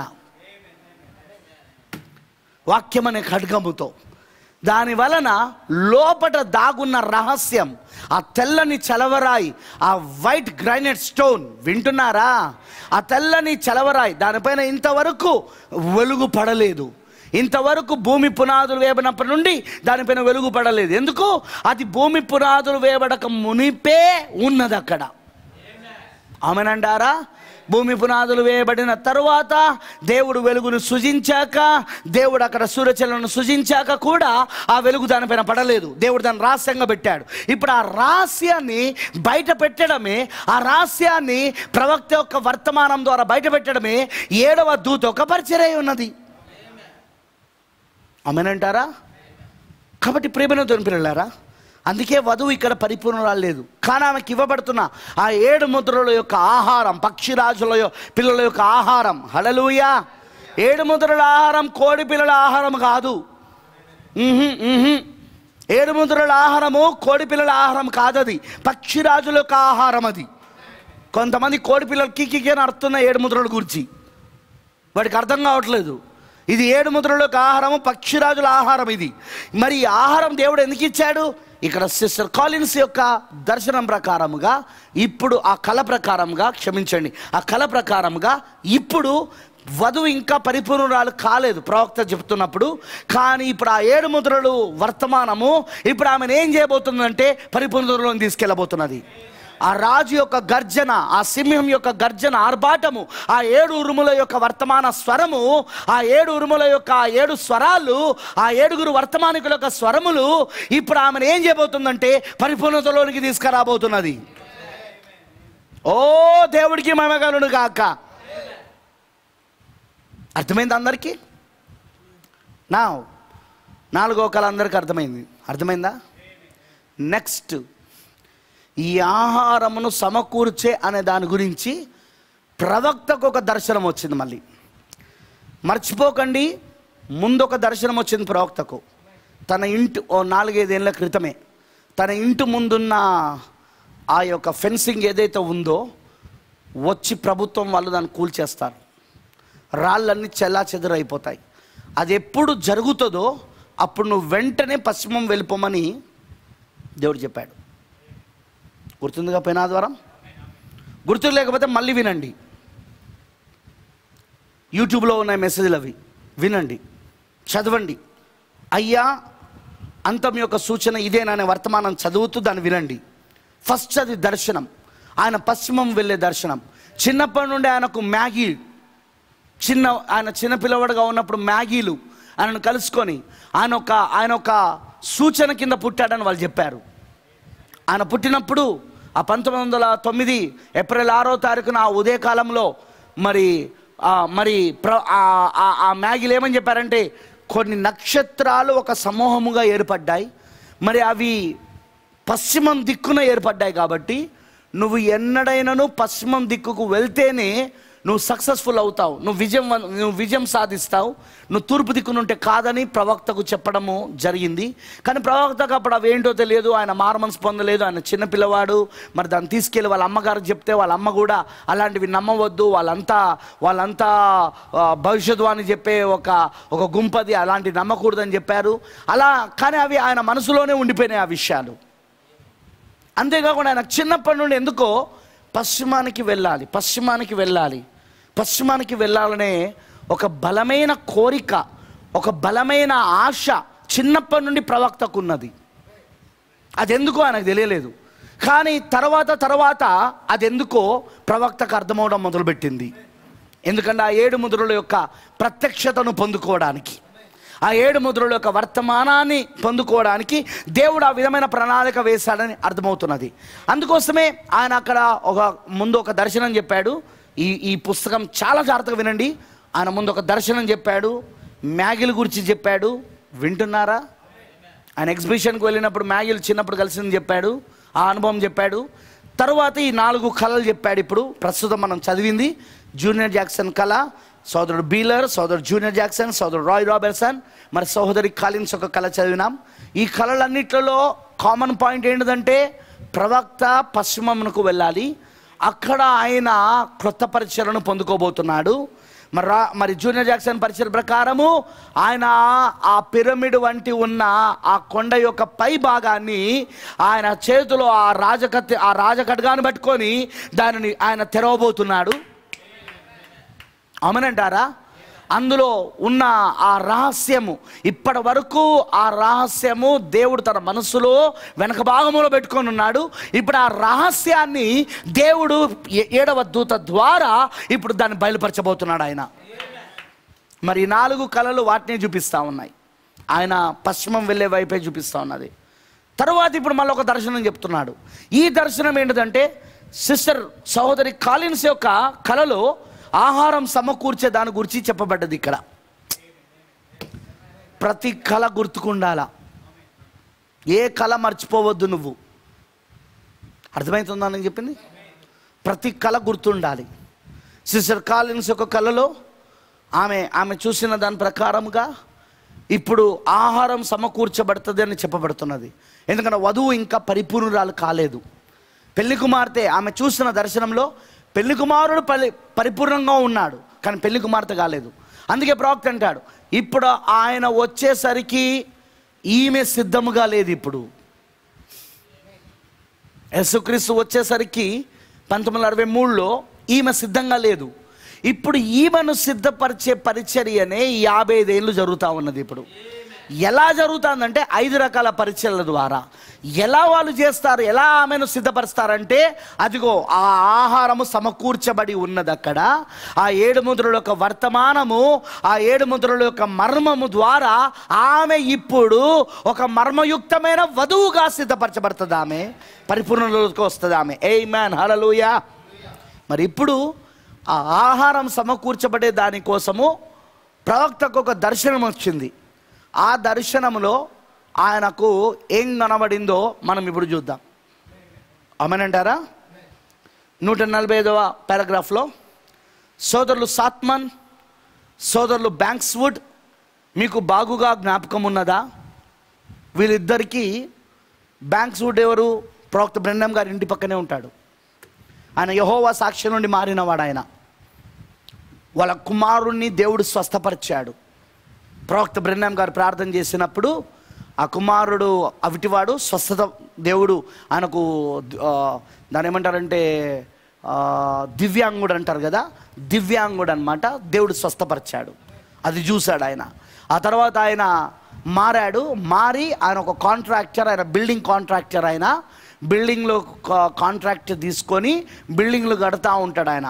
ఆయన చాలా ఆస్తిపరుడుగా ఉండే మంచి సక్సెస్ఫుల్ బిజినెస్ మ్యాన్గా ఉండే.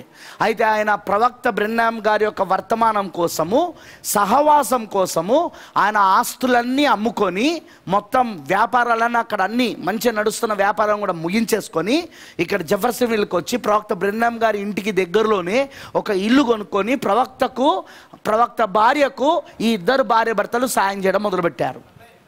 చాలాసార్లు ప్రవక్త. సో బ్యాంక్స్ వుడ్ యొక్క కారులోనే తిరిగేవాడు. ఎక్కువ శాతము బ్యాంక్స్ వుడ్ ఆయన తీసుకెళ్ళేవాడు ఎందుకంటే ప్రవక్త దర్శనాలు చూశాక బాగా బలహీనుడు అయిపోయాక మరి ప్రవక్తను మీటింగ్ నుండి తీసుకొచ్చాక ప్రవక్త అడిగేవాడు బ్యాంక్స్ వుడ్ని కొంచెం నేను ఈ దర్శనాల నుండి బయటికి రావాలంటే ఆ అభిషేకం నుండి బయటికి రావాలంటే నన్ను కొంచెము అలా అలా కొద్దిగా బయట తిప్పమన్నప్పుడు ప్రవక్తనే ప్రవక్తను ఆయన తన కారులో కూర్చోబెట్టుకొని మొత్తం బయట తిప్పేవాడు. ఎందుకంటే ప్రవక్త బ్రెన్నామ్ గారు అందులో నుండి బయటకు రావడం చాలా కష్టమయ్యేది. నేను అనుకునేవాని ప్రవక్త బ్రెన్నామ్ గారు ఎందుకు అలా మాట్లాడుతున్నాడు అని. కానీ నేను దానియేలు గ్రంథం చదివిన తర్వాత అర్థమైంది నాకు. దానియేలు కొన్ని దర్శనాలు చూసి కొన్ని రోజులు రోగి అయ్యాడు ఆయన. చదవండి మీరు బైబిల్లా. దానియలు కొన్ని దర్శనాలు చూసి కొన్ని రోజులు రోగి అయ్యాడు. కొన్ని రోజులు. మళ్ళీ దేవుడు వచ్చి ముట్టి లేపేదాకా. అంతగా బలహీనులు అవుతారు వాళ్ళు. ఆ దర్శనాలు చూసినప్పుడు. ప్రవక్త కూడా ఆ దర్శనాలు చూసినప్పుడు ఆయన ఆయన అంటాడు వాక్యమును నేను ఎన్ని గంటలైనా బోధించగలను ఎంతసేపు నిలబడైనా బోధించగలను. ఎందుకంటే వాక్యం బోధించే అభిషేకం వేరు వాక్యాన్ని బోధించే ఆ అభిషేకం వేరు ఆ అది వేరు ఆ ఆ నిరసం వేరు. కానీ దర్శనం వివేచన జరుగుతూ ఉంటుంది చూడు. దర్శనం దేవుడు చూపిస్తూ ఉంటాడు చూడు. అదిగో ఆ దర్శనాలు వచ్చినప్పుడు మాత్రం ప్రవక్త పూర్తిగా బలహీనుడు అవుతాడు ఎందుకంటే దానియల్ని కూడా మనం గమనిస్తే అదే కనబడుతున్నది. దానియల్ అయితే కొన్ని రోజులు రోగిగా నేను పడి ఉన్నానని చెప్పాడు. ఈ దర్శనం చూశాక నేను కొన్ని రోజుల వరకు నేను రోగిగా పడి ఉన్నాను అన్నాడు ఎందుకు? కారణం ఏంటంటే ఆ దర్శనం ఆ అభిషేకం అంతగా ఆ ప్రవక్త పైన ప్రభావితం చూపిస్తుంది. అందుకే ప్రవక్తను మన ఆ దర్శనంలో నుండి బయటికి తీయడానికి అంటే ఆ దర్శనంలో ఆయన బయటికి రావాలన్నా రాలేకుండా ఉంటాడు ఆయన. అందుకే ఆయనను తిప్పుతూ ఉండేవాళ్ళు ఆయనను. కొంచెం బయటికి చల్లగాలికి అలా అలా మెల్లగా ఆ ప్రకృతి దగ్గరికి వెళ్తూ ఉండేవారు అయితే ఈ బ్యాంక్స్ కూడా అనే సహోదరుడు తను ఎంతో సమర్పించుకొని తను తన భార్య సమర్పించుకొని మంచి బిజినెస్ను వదిలిపెట్టుకొని జఫర్సన్ విల్కి వచ్చి చిన్న బిజినెస్ చేస్తూ అదే అదే మంచి పెద్ద బిజినెస్ను వదిలిపెట్టి చిన్న బిజినెస్ చేస్తూ ప్రవక్త ఒక పరిచయలో నేను కూడా ఉపయోగపడాలి నా భార్య కూడా ఉపయోగపడాలని చెప్పి అటు సోదరుడు బ్యాంక్స్వుడ్ యొక్క భార్యను సిస్టర్ మీడాకి ప్రవక్త బ్రహ్మం గారు ఒక భార్యకు ఇంట్లో పనులు చేయడానికి సహాయపడేది. సోదరుడు బ్యాంక్స్వుడో ఈయనను అటు ఇటు తిప్పడానికి ఇంకా అనేక వాటికి ఈయన ఉపయోగపడేవాడు. మీకు అర్థమైందని చెప్పింది? అలానే సోదరుడు సాత్మన్ సోదరుడు రాయ్ రాబర్సన్ వీళ్ళు ఎక్కువగా ప్రవక్తతో ఉండేవాళ్ళు. సోదరుడు ఫ్రెడ్ సాత్మన్ సోదరుడు రాయ్ రాబర్సన్ వీళ్ళందరూ ఎక్కువగా ప్రవక్తతో ఉండేవాళ్ళు. మీరు గమనించాల్సిన విషయం ఏంటంటే వీళ్ళు వీళ్ళ గురించి మాట్లాడుతున్నాడు ఇప్పుడు. ఎందుకంటే ప్రవక్త ఎక్కువగా వీళ్ళతోనే ఉండేవాడు. సోదరులు సాత్మన్ మరి సోదరులు బ్యాంక్స్వుడ్ మీకు జ్ఞాపకం ఉన్నదా? గత సంవత్సరం మనం ఆరిజానాలో ఉండినప్పుడు అక్కడ జావెలిన్ హాగ్ అంటే అడవి అదొక రకమైన అడవి పంది. అదొక రకమైన అడవి పంది అనమాట ఈ జావెలిన్ హాగ్ అనేది ఒక రకమైన అడవి పంది. వేటాడినప్పుడు ప్రభువు మాట్లాడాను. ప్రవక్త బ్రిన్నాం గారితో సోదరుడు సాత్మన్ సోదరుడు బ్యాంక్స్వుడ్ ఇంకా కొంతమంది సహోదరులు వేటాడడానికి వెళ్ళారు. ఆ వేటాడింది దేనికోసం వెళ్ళారంటే జావలిన్ హాగ్ అనే ఒక రకమైన పంది అది ఒక రకమైన పంది అది ఆ పందిని వేటాడడానికి అడవి పందిని వేటాడడానికి వెళ్ళారు వాళ్ళు. ఒక రకమైన అడవి పంది. ప్రభు చిత్తం అయితే నేను వచ్చే వారము దాన్ని చూపిస్తానులే. దాన్ని నేను నెట్లో చూపిస్తాను అదే మన స్క్రీన్లో చూపిస్తాను. జావెలిన్ హాగ్ అంటే అడవి పంది అది. అది ఒక రకమైన అడవి పంది. లేదా మీరు ఇంటర్నెట్లో కూడా మీరు వెతకొచ్చు. మీరు దాన్ని చూడొచ్చు. ఆ వేటాడినప్పుడు ప్రభు ఆయనతో మాట్లాడాడు. ఆ విషయాన్ని వీళ్ళకి చెప్పాడు. ఆయన పరిపూర్ణంగా చేసిన కార్యములను మీరు ఎరగరా? ఏమి జరగనై ఉన్నదో చూపుచు మన మార్గమును వెలుచుండగా నిరూపించాను. అది నిజమేనా?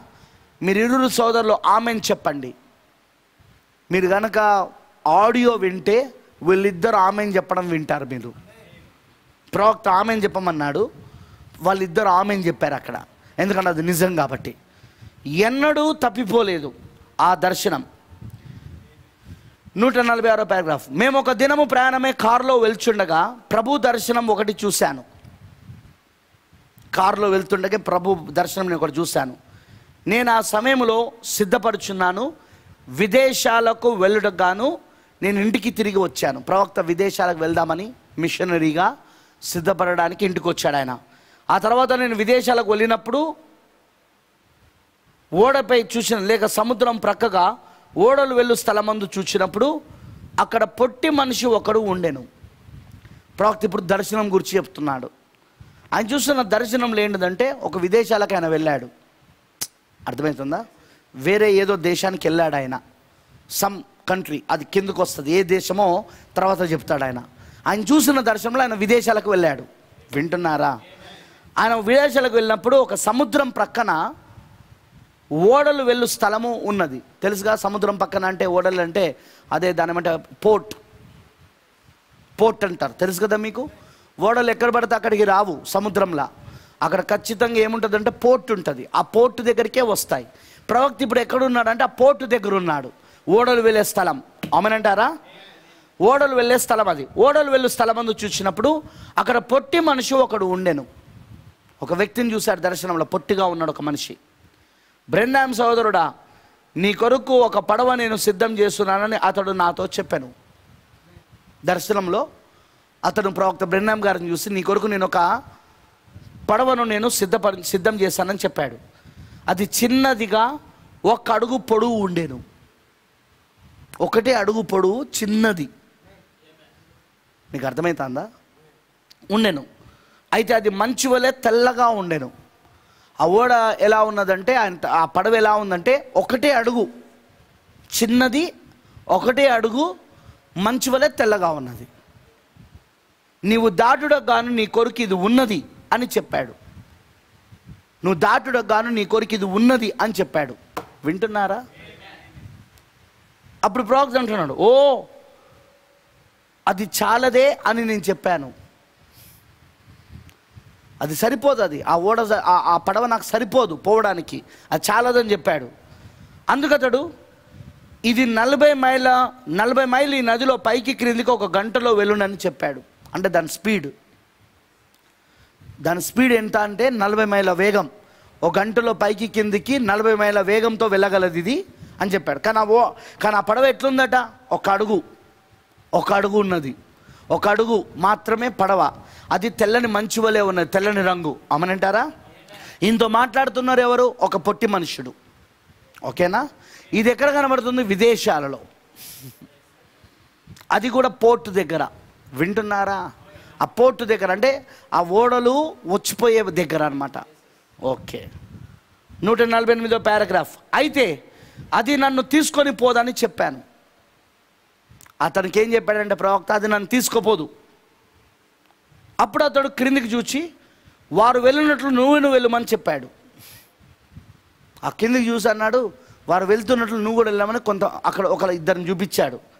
నేను అటువైపుగా చూచాను అక్కడ సోదరులు ఫ్రెడ్ సాత్మన్ బ్యాంక్స్ వుడ్ పచ్చ రంగు పూసిన చిన్న పడవలో కూర్చొని ఉండేది సోదరుడు సోత్మన్ బ్యాంక్స్ వుడ్ ఇద్దరు పచ్చ రంగులో పచ్చ రంగు పూసిన చిన్న పడవలో కూర్చొని ఉండిరి. వారి వెనుక చిన్న తెరచాప ఎత్తబడి ఉండినది. తెరచాప అంటే తెలుసుగా మీకు? ఆ ఓడకు అది ఉంటుంది కదా తెరచాప అది ఎత్తబడి ఉన్నది. సోదరుడు బ్యాంక్స్ వంగిన టోపీని వేసుకొని ఉన్నాడు. వంగిన అంటే ఇలా వంకరగా ఉంటుంది తెలుసు కదా టోపీ మీకు? ఎప్పుడైనా చూసారు? ఇట్లా వంకరగా ఉంటాయి అవి. ఆ టోపీ అప్పుడు వారి వల్లే వెళ్ళమని అతడు చెప్పాను. అప్పుడు నేను లేదు నేను వెళ్ళనని చెప్పాను. అప్పుడు ఆ చిన్న వ్యక్తి వారితో ఇలా చెప్పాను మీరు పడవ నడుపు వారేనా?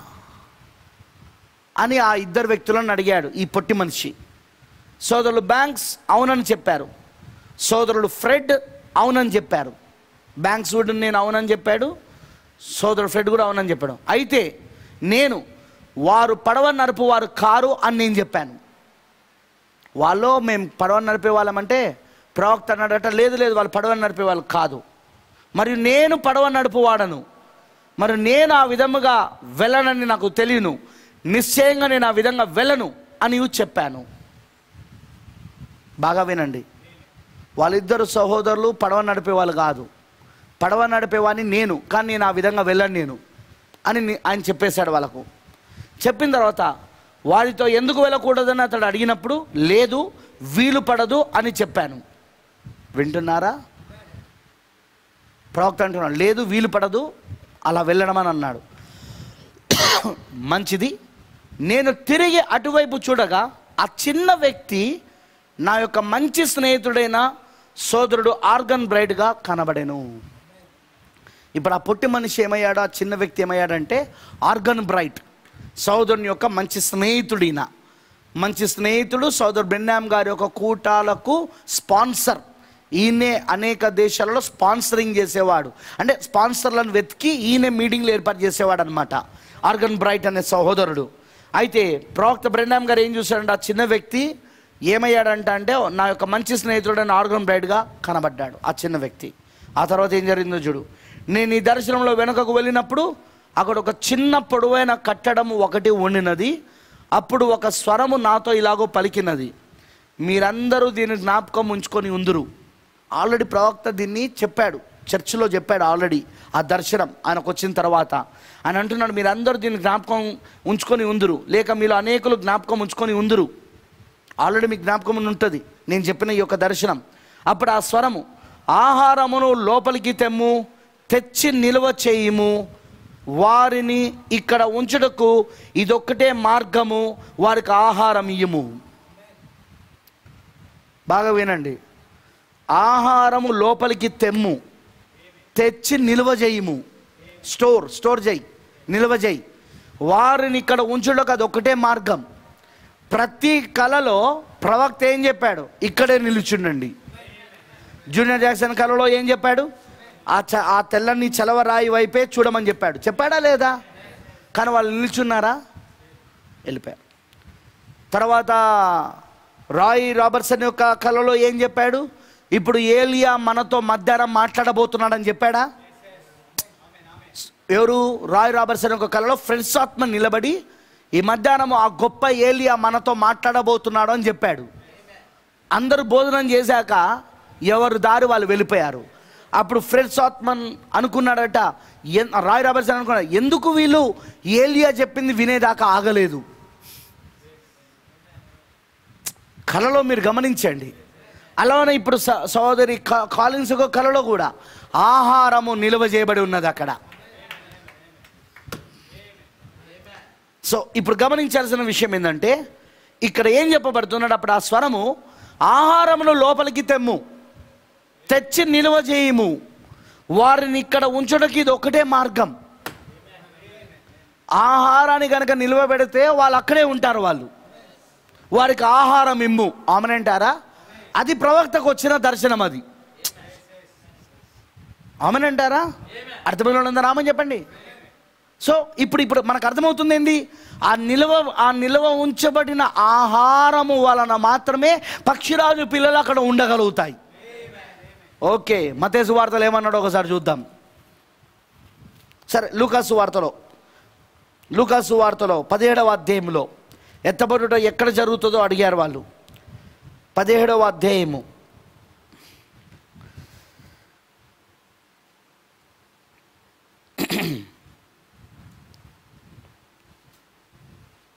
ముప్పై నాలుగు వచ్చే చదువుదాం. ఆ రాత్రి ఇద్దరు ఒక మంచం మీద ఉందురు. లుకాసు వార్త పదిహేడు ముప్పై నాలుగు. ఆ రాత్రి ఇద్దరొక్క మంచం మీద ఉందురు వారిలో ఒకరు కొనిపోబడును ఒకరు విడిచిపెట్టబడును. కొనిపోబడడం అంటే ఎత్తబడుటనేనా? ఎందుకంటే బైబిల్లో మనం ఆల్రెడీ చూసాం ఎత్తబడుట అనే మాట బైబిల్లో రాయబడలేదు. బైబిల్లో కాటప్ కాటప్ అని రాయబడి ఉంది ఇంగ్లీష్లో కాటప్ అంటే కొనిపోబడుట. అవునంటారా ఇప్పుడు కొనిపోబడుట గురించి మాట్లాడుతున్నాడు. దాన్నే మనం ఎత్తబడుట అంటున్నాం ర్యాప్చర్ అంటున్నాం. ర్యాప్చర్ అనే పదం వాడుతున్నాం. ర్యాప్చర్ అనే మెసేజ్లో చెప్పాడు ప్రవక్త. ఈ పదము బైబిల్లో ఎక్కడ లేదు కానీ ఇది పర్యాయ పదముగా వాడబడుతున్నది. దేనికంటే కొనిపోబడే అనే మాటకు పర్యాయ పదముగా వాడబడుతున్నది. ఏమంటున్నాడంటే ఆ రాత్రి ఇద్దరు ఒక మంచం మీద ఉందరు. వారిలో ఒకరు కొనిపోబడును ఒకరు విడిచిపెట్టబడును. ఇద్దరు స్త్రీలు ఒక తిరగలు విసిర్చుందరు ఒకటి కొనిపోబడును ఒకటి విడిచిపెట్టబడును నేను ఇంకో మాట ఉన్నది ఇంగ్లీష్లో ఇద్దరు పొలములో పని చేయుచుందరు ఒకరు కొనిపోబడును ఒకరు విడిచిపెట్టబడును. ఇంగ్లీష్లో ఉన్నది తెలుగులో లేదు. తర్జుమా పొరపాటు అది. శిష్యులు ప్రభువా ఇది ఎక్కడ జరుగునని? ఎప్పుడు జరుగును కాదు. ఎందుకంటే ఎప్పుడు జరుగునో చెప్పాడుగా పైన? నవా దినాలలో జరిగినట్టుగానే మనిషి కుమారుడు ప్రత్యక్షమగు దినములలో జరుగును. లోతు దినాలలో జరిగినట్టుగానే మనిషి కుమారుడు ప్రత్యక్ష మగు దినములలో జరుగును. చెప్పాడా లేదా? ఎప్పుడు జరుగుతుందో ఆల్రెడీ చెప్పాడు. ఆమెన్. సో స్పష్టత ఉంది ఇప్పుడు. ఎప్పుడు జరుగుతుంది అనేది. హలలుయ ఎప్పుడు అంటే మళ్ళీ నోవా దినాలు వచ్చినప్పుడు. మళ్ళీ లోతు దినాలు వచ్చినప్పుడు. హలలుయ కానీ ఇది ఎక్కడ జరుగుతుంది? ఆమెనంటారా ఎక్కడ జరుగుతుంది? ఈ ఎత్తబడుట అనేది ఈ కొనిపోబడుట అనేది ఎక్కడ జరుగుతుంది? ఆమెనంటారా అప్పుడు ప్రవక్త ఏమంటున్నాడు? అక్కడ ఏసుక్రీస్తు ఏమంటున్నాడు అంటే శిష్యులు ముప్పై ఏడు ముప్పై ఐదు నుండి ముప్పై ఏడు వచనాలు అని ఉంటుంది మన తెలుగులో అయితే ఇంగ్లీష్లో అయితే ముప్పై ఏడు వచనం. శిష్యులు ప్రభు ఇది ఎక్కడ జరుగునని ఆయనను అడిగినందుకు ఆయన పీనుగా ఎక్కడ ఉన్నదో అక్కడ పక్షిరాజులు పోగవునని వారితో చెప్పాను. గద్దలు కాదు పక్షిరాజులు. ఇంగ్లీష్లో ఏమంటుందంటే ఈగల్స్ పక్షిరాజులు. పీనుగా ఎక్కడ ఉన్నదో పక్షిరాజులు పోగవునని అక్కడ పక్షిరాజులు పోగవని వారితో చెప్పాను. అంటే ఇప్పుడు ఎత్తబడుట కొనిపోబడుట అనేది ఎక్కడ జరుగుతుంది ఇప్పుడు? ఎక్కడైతే ఆ పీనుగా ఉన్నదో ఆ ఆహారం ఉన్నదో అక్కడ పక్షిరాజులు పోగవుతాయి ఎత్తబడుట అనేది ఎక్కడ జరుగుతుంది అంటే కొనిపోబడటం అనేది ఎక్కడ జరుగుతుంది అంటే ఎక్కడైతే ఆ పక్షిరాజులు పోగై ఉన్నాయో అక్కడ ఎత్తబడుట జరుగుతుంది. ఇప్పుడు మీకు ఈ దర్శనం అర్థం కావాలి. ఇప్పుడు మీకు ఈ కళలు అర్థం కావాలి. అమనంటారా లేఖనం ప్రకారం. హళలూయ వాక్య ప్రకారం. ఇప్పుడు ప్రవక్తను ఎందుకు ఆహారం సమకూర్చబెట్టమన్నాడు ఆ ఏడు ముద్రల యొక్క వర్తమానం. అది ఆహారం అది. అది పీనుగా అది. అది మనిషి కుమారుని శరీరం అది. ఆల్రెడీ చెప్పాను ఏడవ ముద్ర. మనిషి కుమారుని శరీరం. పక్షిరాజులు తింటున్న శరీరం అది. ఆమెనంటారా?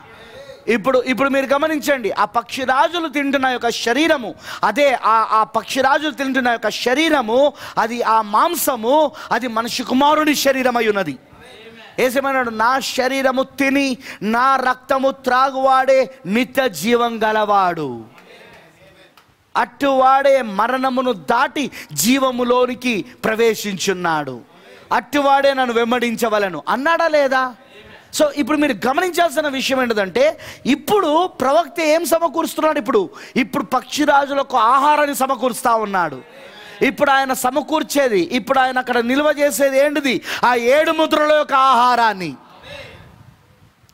హల్లెలూయా! ఏడు ముద్రలకు ఆహారం ఏంటిది? మనిషి కుమారుని శరీరము మనిషి కుమారుని రక్తము. ఆమెనంటారా? పీనుగా వింటున్నారా? శరీరము ఇంగ్లీష్లో బాడీ అని ఉంటుంది. హలలుయ ఇంగ్లీష్లో ఏముంటుందంటే బాడీ అని ఉంటుంది అక్కడ. వింటున్నారా అందరూ? Where there is a body there the gather there the eagles are gather together అని ఉంటుంది. అంటే ఎక్కడైతే శరీరం ఉండునో ఎవరిది ఆ శరీరం? మనిషి కుమారుని శరీరం. ఆ మనిషి కుమారుని శరీరం ఎవరు? అదే ఏడు ముద్రలు. ఎందుకంటే బ్రత బేనం ఏమన్నాడు? ఏడు ముద్రలు ఎవరో కాదు ప్రభుని యేసుక్రీస్తే. ప్రైజ్ ద లార్డ్ హల్లెలూయా ఏడు ముద్రలు ఎవరో కాదు ప్రభు అనే యేసుక్రీస్తే. దేవునికి మహిమ కలువును గాక. ఏడు ముద్రలు ఎవరో కాదు. ప్రభు అయిన యేసుక్రీస్తే వింటున్నారా? అర్థమైన వాళ్ళందరూ ఆమె చెప్పండి. హల్లెలూయా.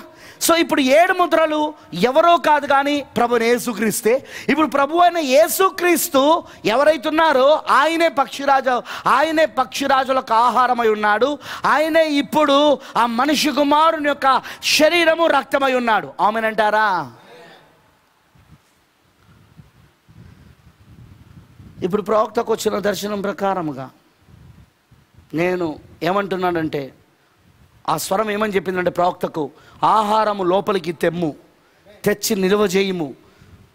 వారిని ఇక్కడ ఉంచడానికి ఇది ఒకటే మార్గం వారికి ఆహారం ఇయ్యము. నేను లోపలికి తెచ్చాను పెద్ద తొట్టు నిండాగా మంచి రకపు క్యారెట్ను మంచి రకపు కూరగాయలను నేను చూడని అనేక వస్తువులను తెచ్చాను. ఆ దర్శనమును మీరు ఇప్పుడు జ్ఞాపకం చేసుకొనుచున్నారా?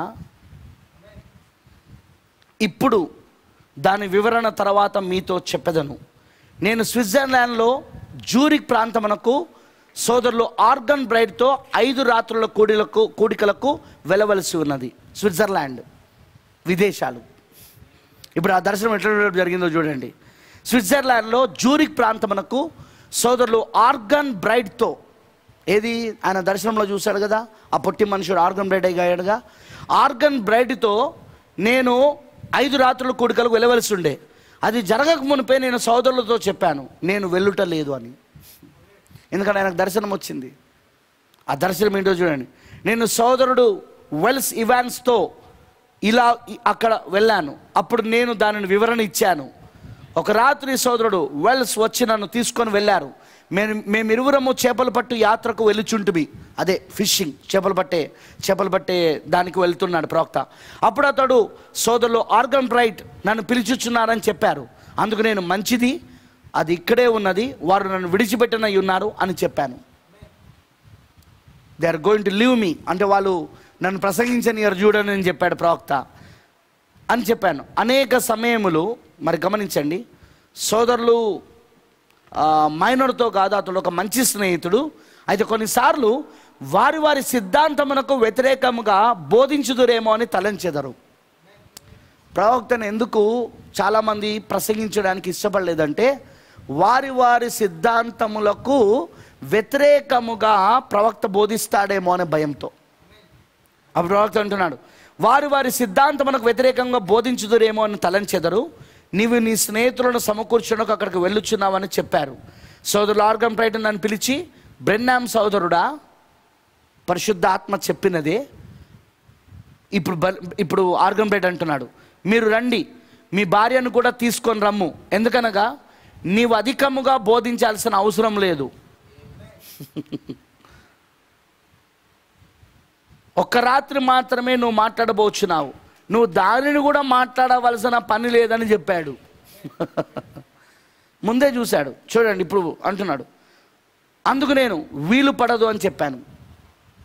ఎందుకంటే ఇప్పుడు ఆయన రమ్మంటున్నాడు. ఎందుకు? జస్ట్ విహారయాత్రకు రమ్మంటున్నాడు భార్యను తీసుకొని.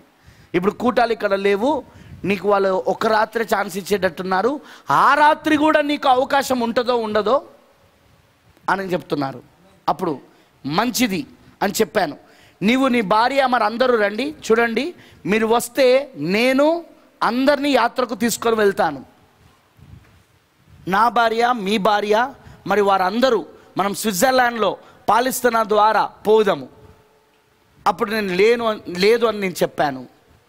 ఆ వివరణ నా యొద్దనే ఉన్నది. సోదరుడు వెల్స్ లేక సోదరుడు ఫ్రెడ్తో ఇలా చెప్పాను. నేను రేపు ఉదయం దానిని చెప్పేదను. మొదటిగా నా భార్య మీతో ఏది చెప్పాలనో ఆశించుచున్నది అని చెప్పాను. నేను ఆమెను ఫోన్ చేసి పిలిచినప్పుడు ఆమె వెళ్ళుటకు నిరాకరించినది. అప్పుడు నేను ఇదిగో అది ఇక్కడే ఉన్నది అని నేను చెప్పాను. ఆ చిన్న పడవ అక్కడ అక్కడ కూడిన ఆ కూడికను సూచించుచున్నది. ఆ దర్శనంలో ఆ చిన్న పడవ ఆ చి ఒక కూడికను సూచిస్తూ ఉంది. ఆర్గన్ బ్రైట్ ఏమన్నాడు? ఒక కూడికనే ఉంటుంది అది కూడా నువ్వు చెప్తావో చెప్పలేవో చెప్పలేమని అన్నారు. అవునంటారా? ఆ గట్టు వెంబడి ఒక కూడికతో ఎక్కడికైనా నువ్వు వెళ్ళవచ్చును. అయితే సముద్రము దాటి నన్ను పిలిచినప్పుడు ఆ ఒక్క కూడిక చాలదు. అది తెల్లగాను మంచిదిగాను ఉనినను. ఇప్పుడు ఎందుకంటే ప్రవక్త స్విట్జర్లాండ్ వెళ్ళాలంటే సముద్రం దాటాలి కదా. ఆ ఒక్క కూటం కోసం ఈయన సముద్రం దాటి వెళ్ళడం అనేది కుదరదు ఆయన. ఆయన దర్శనంలో దాన్ని ఆయన నిరాకరించాడు. అవునండారా యాక్చువల్గా ఆయనకు ఐదు రోజుల కూటాలు. కానీ ఐదు రోజుల కూటాలు వాళ్ళు ఏం చేశారు? ఒక కూటంగా మార్చారు. అదే ఆయన దర్శనంలో చూశాడు. ఆ చిన్న పడవ ఒక్క అడుగు పడవ. ఆ ఒక్క అడుగు పడవలో వెళ్ళమని చెప్తున్నాడు. Organ bright. చిన్న ఆ పొట్టి మనుషుడు ఎవరయ్యారు చివరికి దర్శనంలో ఆర్గన్ బ్రైట్గా మారాడు. కానీ ఆ ఒక్క కూటం కోసము నేను రాలేను. ఆ ఒక్క కూటం కోసం నేను సముద్రాన్ని దాటలేను. అమనంటారా అర్థమైన వాళ్ళందరూ రామ చెప్పండి? ఓ మీకు క్లియర్గా అర్థమవుతుందని నేను అనుకుంటున్నాను. అది తెల్లగాను మంచిదిగాను ఉండినను ఆ ఒక్క కూడిక చాలదు. మరియు సోదరుడు ఫ్రెడ్ మరియు సో మరి సోదరుడు దర్శనంలో నీ ప్రతినిధులు. దర్శనంలో సోదరుడు ఫ్రెడ్ను సోదరుడు బ్యాంక్స్వుడ్ని చూశాడు. ఇద్దరిని చూసారా లేదా? ఫ్రెడ్ సాత్మను బ్యాంక్స్వుడ్ని. వారు ప్రాతినిధ్యం వహించారు. వాళ్ళు ఉన్నా ఉల్లాస ప్రయా ప్రయాణికులుగా వెళ్ళారు. తమాషాకు చెప్పుచున్నాను. ఆమెన్ హలలుయ వాళ్ళు దేని వాళ్ళు దేని చూపి- వాళ్ళు దేనికి సూచిస్తూ ఉన్నారంటే ఉల్లాస యాత్ర. అంటే ఉల్లాస యాత్ర అంటే పిక్నిక్. వాళ్ళిద్దరు ఏ దేని చూపిస్తుందంటే పిక్నిక్ చూపిస్తున్నారు. వాళ్ళిద్దరు పిక్నిక్ ఎందుకంటే వాళ్ళిద్దరు బోధకులు కాదు. వాళ్ళిద్దరు బోట్ మ్యాన్ బోట్ మ్యాన్ అంటే ఏంటిది? బోడని నడిపేవాళ్ళు. అదే పడవని నడిపేవాళ్ళు. వాళ్ళిద్దరిని ఏమన్నాడు? మీరు పడవ వీళ్ళిద్దరు వాళ్ళు మేము పడవ నడిపే వాళ్ళమంటే కాదని నేను అన్నాడు అన్నాడా లేదా ప్రవక్త? నేను పడవ నడిపేవాడిని అన్నాడు. అన్నాడా లేదా? అంటే బోధకుడు ఈయన ప్రసంగించేవాడు ఈయన వాళ్ళిద్దరు కాదు. కానీ వాళ్ళు వాళ్ళు దేని చూపిస్తుందంటే ఉల్లాస యాత్ర. ఉల్లాస యాత్ర అంటే ఒక పిక్నిక్ లాగా ఇప్పుడు పోదాం స్విట్జర్లాండ్కి ఇప్పుడు ఎట్లా పోలాలంటే బోధించడానికి కాదు. ఒక పిక్నిక్ లాగా. హలలుయా అవునంటారా మరి చూడండి. అయితే అయితే నేను దాన్ని చేయవాలని చింతించట్లేదు. వారు పడవను నడుపువారు కాదని చెప్పాను. ప్రవక్త ఏమని చెప్పాడు? వాళ్ళు పడవలను నడిపేవారు కాదు. వారు బోధకులు కాదని అర్థం. అయితే నేను ఒక బోధకునిగా ఉన్నాను. మరి అప్పుడు ఆ చిన్న పొడవైన కట్టడంలోని ఆహారం. తర్వాత ఏం చూశాడు ప్రవక్త? అది అయినాక ఆయన ఒక ఒక చిన్న కట్టడములో ఆహారం సమకూర్చబడ్డ చూశాడు. ఆమెనంటారా? హలలోయ నేను దీవి దేశంలోకి వెళ్ళలేదు. నేను ఆ చిన్న కట్టడమునకు దీవి దేశంలో కంటే స్విట్జర్లాండ్ అనేది దివి. అదొక దివి. ఎంతమందికి తెలుసు? ఐలాండ్ దివులు. స్విట్జర్లాండ్ అనేది ఒక ఐలాండ్ అది. వింటున్నారా? ఆ దివి దేశమునకు నేను వెళ్ళలేదు. నేను ఆ చిన్న కట్టడమునకు తిరిగి వచ్చి. ఇది ప్రవక్త చూశాడు కదా దర్శనంలో? మళ్ళీ ఆయన తిరిగి వచ్చినట్టుగా. ఆయన ఓడలో వెళ్ళలేదు ఆయన. ఆ చిన్న పడవలో వెళ్ళలేదు ఆయన. వచ్చేసాడు ఆయన తిరిగి వచ్చేసాడు. వచ్చేసి ఆ పిరమిడ్ ముక్కోనప్పు హల్లూయా అమనంటారా ఆ పిరమిడ్ మరియు మరియు ప్రతిదీ కూడా అనేకమైన టేపులను తయారు చేశాను. పిరమిడ్ మీద బోధ ఇంకా అనేకమైన ప్రసంగాలు చెప్పడం మొదలుపెట్టాడు ఆయన అక్కడికి వెళ్ళకుండా. ఆ విధముగా ప్రజలకు మనము జీవించు ఈ గడియను చూపించాను. ప్రవక్త ముందుగానే దర్శనంలో చూశాడు. ఆర్గన్ బ్రైట్ గారు ఏర్పాటు చేసిన స్విట్జర్లాండ్ కూటాలు క్యాన్సిల్ అయిపోతాయని. అంతేకాకుండా ఆయన మళ్ళా తిరిగి జఫర్సన్ విల్కి వచ్చేస్తాడని. జఫర్సన్ విల్లో ఆ చిన్న మందిరంలో ఆయన ఆహారాన్ని సమకూర్చడం అంటే ప్రసంగాలు చేయడం మొదలు పెడతాడు ఇక. హలలుయ అదే ఆ దర్శనంలో చూసింది నెరవేర్పు జరిగింది. ఇప్పుడు ప్రవక్త అంటున్నాడు నూట అరవై రెండో పారాగ్రాఫ్. ఇప్పుడు దీనిని ఇతరులకు వచ్చిన కళతో పోల్చి చూడండి. ఈ నలుగురికి వచ్చిన కళలు ఉన్నాయిగా దాంతో పోల్చి చూడండి. ఇది ఒక దర్శనముగా ఉన్నది. అది ఆహారము. అది అక్కడ ఉన్నది. ఇదే ఆ స్థలము. బ్రెనం టెబర్ నాకిలే ఆ స్థలము. ఆహారాన్ని సమకూర్చి పెడుతున్నాము. అవునంటారా? ఆయన అంతకుముందే ఆయనకు ఆ- దర్శనం వచ్చింది. స్విట్జర్లాండ్కి వెళ్ళకుండా ఆయన మళ్ళీ తిరిగి జెఫర్సన్ మిల్కి వచ్చేసి మళ్ళీ తిరిగి ఆయన బోధించడం మొదలుపెట్టాడు. అప్పుడే ఈ పిరమిడ్ బోధం ఇవన్నీ చెప్పడం మొదలుపెట్టాడు ఆయన. ఈ పంతొమ్మిది వందల అరవై రెండులోనే ఆయన ఆ ఒక పరిపూర్ణమాన స్వరూపము ఇంకా అనేకమైన వర్తమానాలు ఆయన చెప్పడం మొదలుపెట్టాడు ఆయన. అర్థమైన వాళ్ళందరూ రామని చెప్పండి. ఏమైనా హలలుయా అర్థమైందా? అందరికి అర్థమైందా? సో ఇప్పుడు ఫస్ట్ ఒక దర్శనం. ప్రవక్తకు వచ్చింది ఏంటిది? పశ్చిమానికి వెళ్ళడం గురించి.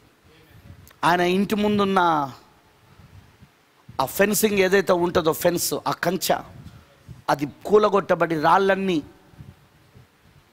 పడేయడం చెల్లా చెదరవడం. ఓకేనా? ప్రభుత్వం వాళ్ళు వచ్చి చేస్తారు. ప్రవక్త దర్శనంలో ఆ వ్యక్తి దగ్గరికి వెళ్ళి మాట్లాడదామని అనుకున్నప్పుడు మీలాంటి బోధకులకు ఇట్లాంటిదే చేయాలని అంటాడు అతను. అతను ఇతని సంగతి ఏందో చూద్దామని వెళ్తున్నప్పుడు స్వరం వినబడుతున్నది. నువ్వు ఒక సేవకుడివి ఆ పని చేయకు. ఇది జరిగినప్పుడు నువ్వు పశ్చిమమునకు వెళ్ళిపో. ఓకేనా? అది దర్శనం. తర్వాత నలుగురు కళలు సోదరుడు జూనియర్ జాక్సన్ సోదరుడు బీలర్ సోదరుడు రాయ్ రాబర్సన్ సోద సహోదరి కాలిన్స్. ఈ నలుగురు కళల తర్వాత మళ్ళీ ఇప్పుడు ఒక దర్శనం. ఈ దర్శనం కూడా ఆహారాన్ని సమకూర్చే దాని గురించే. ఎందుకంటే నాలుగు కళలలో ఉన్న దాంతో పోల్చమన్నాడు ఇప్పుడు ఆయన.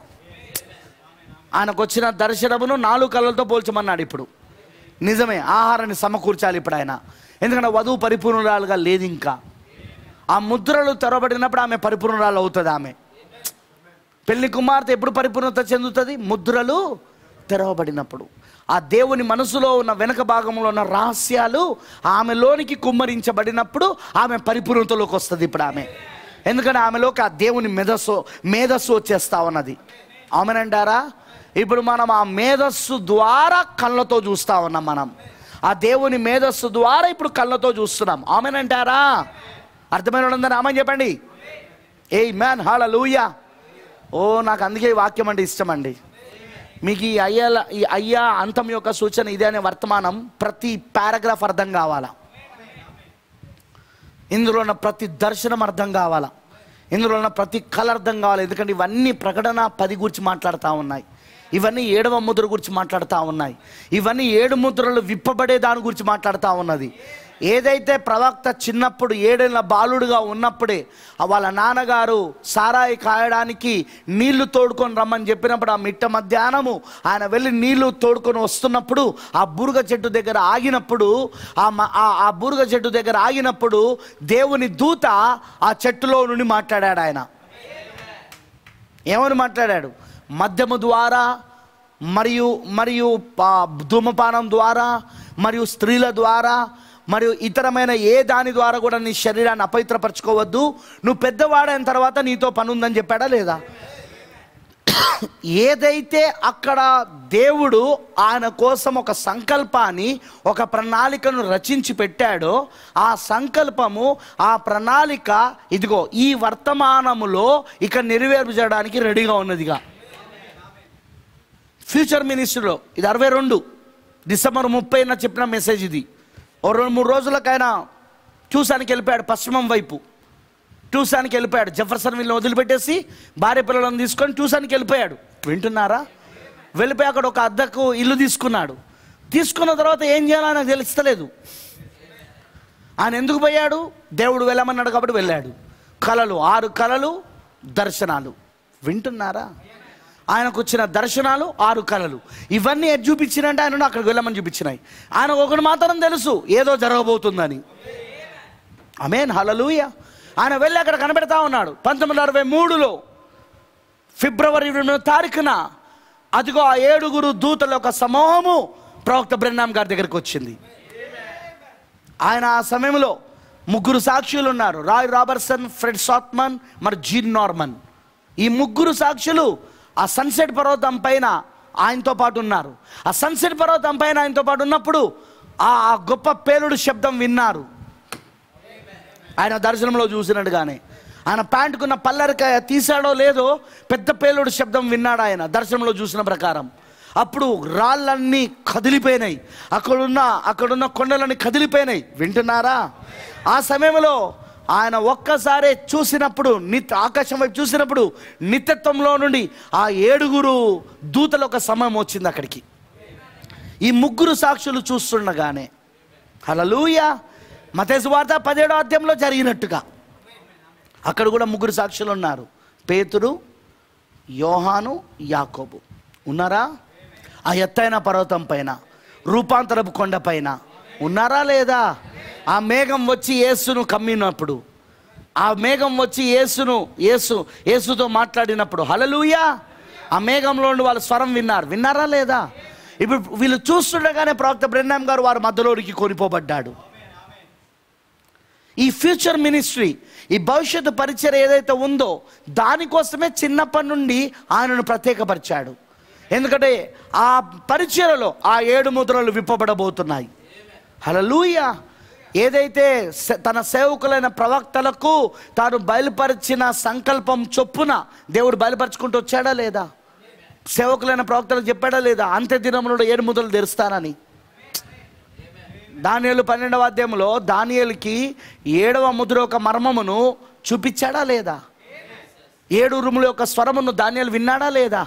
విన్నాడు. ఆ పన్నెండవ అధ్యాయం అదే దర్శనం. ప్రకటన పదే దానియలు పన్నెండవ అధ్యాయం. అవునంటారా అయితే దానిని ఆయన గ్రహించలేకపోయాడు. నేను వింటిని కానీ దాన్ని నేను గ్రహించలేకపోతుని.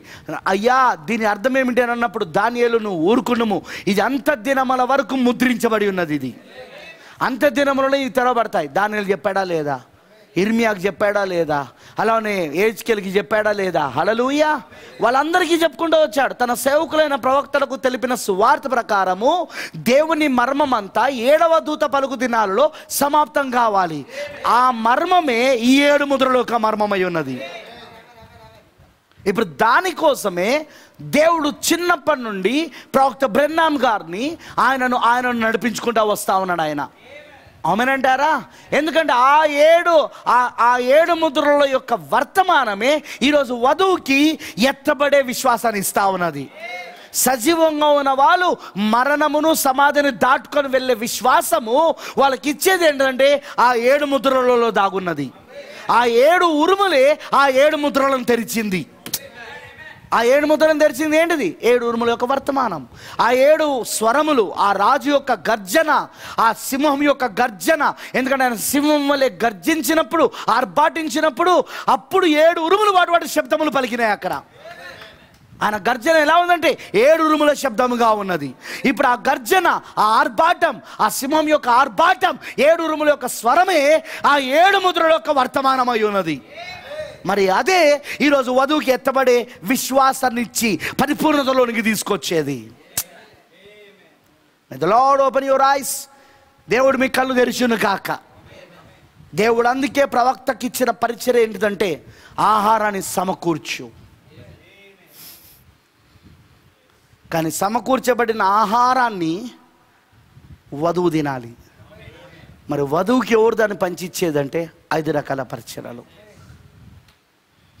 అపోస్తులు ప్రవక్తలు కాపరులు సువార్థికులు ఉపదేశకులు. వీళ్ళ పని ఏంటిది అంటే ఆహారాన్ని దా నిలువ ఉంచిన ఆహారాన్ని పంచి ఇవ్వడం వీళ్ళకు బోధించడం. దానివలన ఈమె పరిపూర్ణతలోనికి రావడం ఎత్తబడ విశ్వాసంలోనికి రావడం. అర్థమైన వాళ్ళందరూ? రామని చెప్పండి. ఆమెనంటారా? హలలుయా ఐ థింక్ ఇప్పుడు నేను ఐదో కళకు వెళ్ళదలుచుకోలేదు.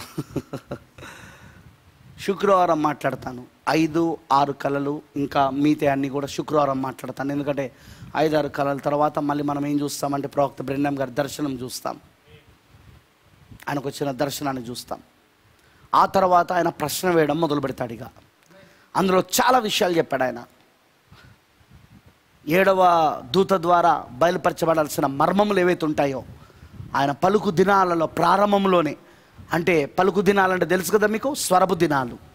The voice of the seventh angel ఆ స్వరము దినాలలో ఆ ఏడవ దూత స్వరము దినాలలో రాయబడిన వాక్యం మర్మముగా ఉన్న వాక్యం ఏదైతే ఉందో రాయబడిన దాంట్లో ఆ మర్మములన్నీ ఆయన విప్పాల్సిన్నది ఆ తర్వాత రాయబడిన వాక్యం ఆ మర్మమైన వాక్యం కింద దాచబడిన వాక్యం ఉన్నది.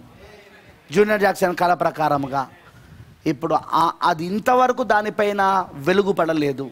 ఇంతవరకు దానిపైన ప్రకాశము దానిపైన పడలేదు. వింటున్నారా? ఇప్పుడు ఈయన పరిచయం ఏంటంటే అది వెలుగులోనికి తీసుకురావడం.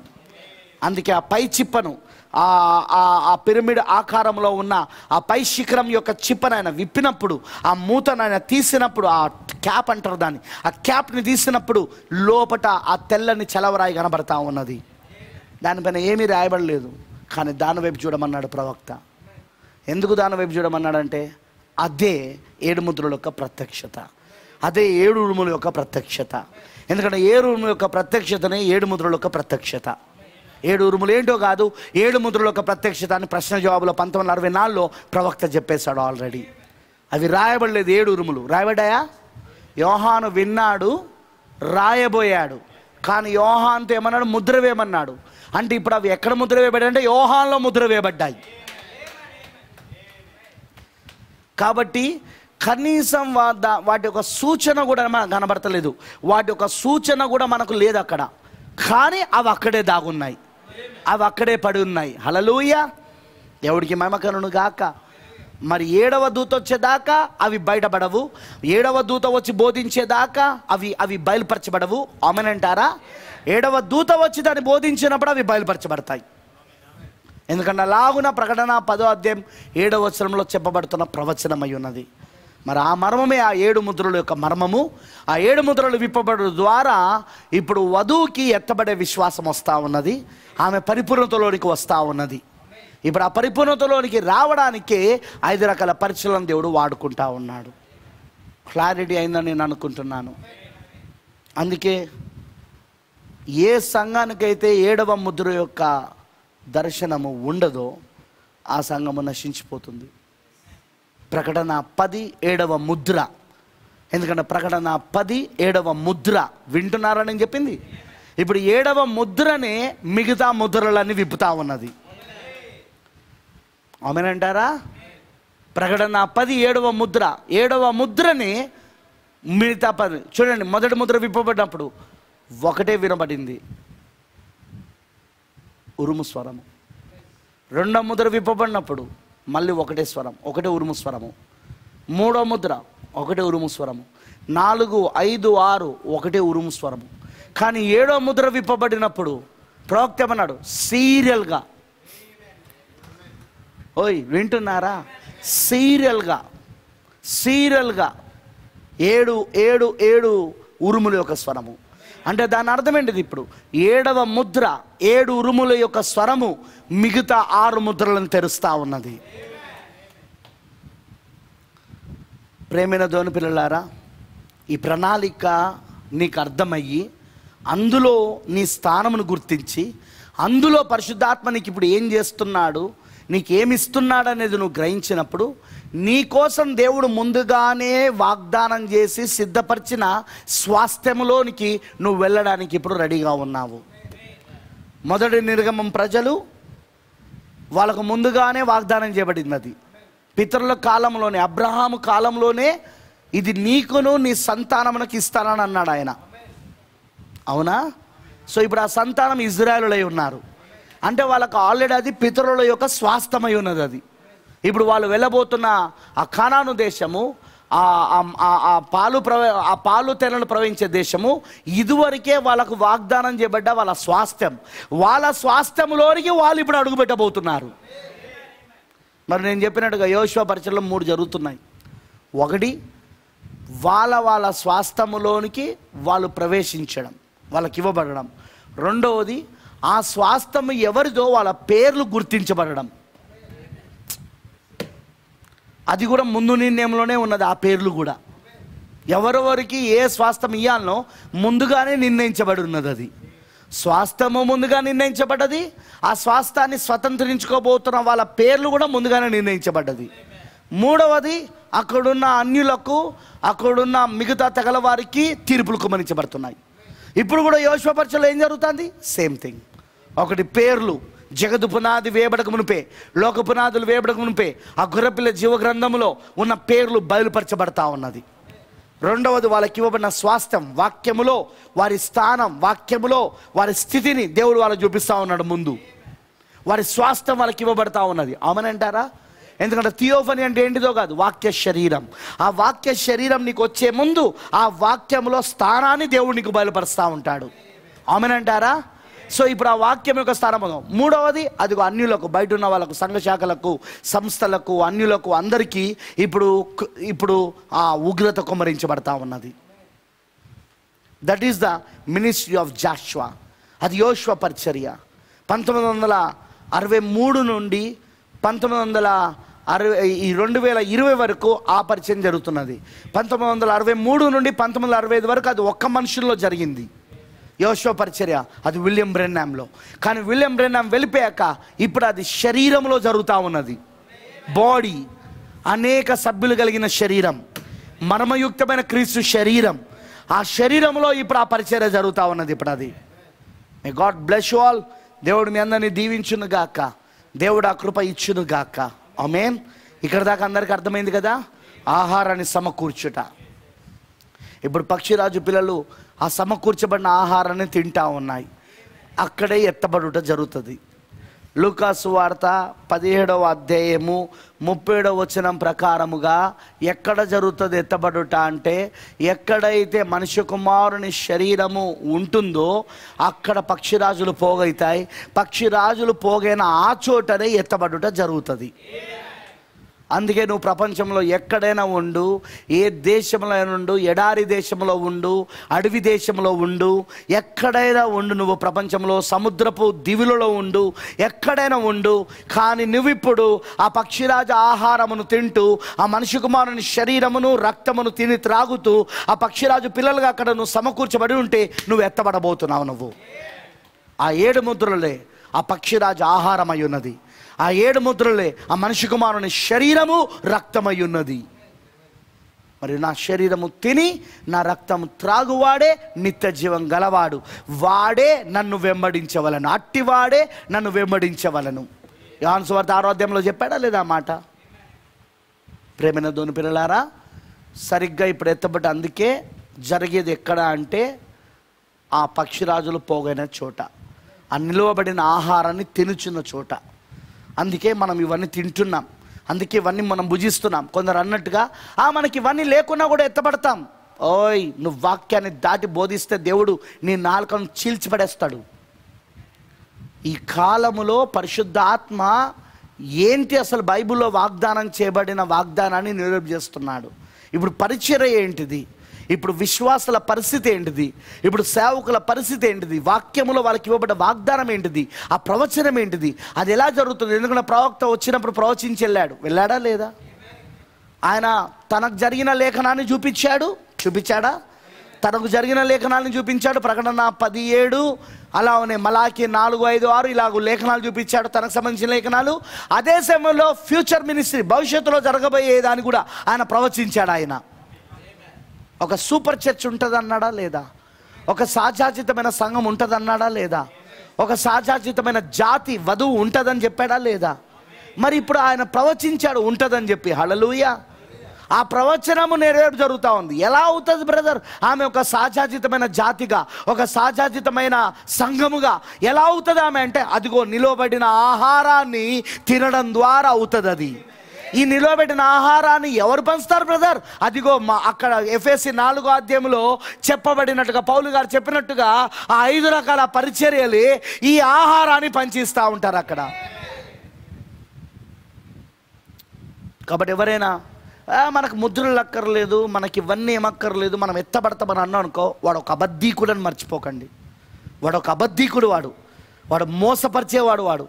ఏడో ముద్ర తెరవడలేదని ఎవరైనా అన్నారు అనుకో వాడు ఒక మోసపరిచేవాడు వాడు వాడు ఒక అబద్ధీకుడు వాడు.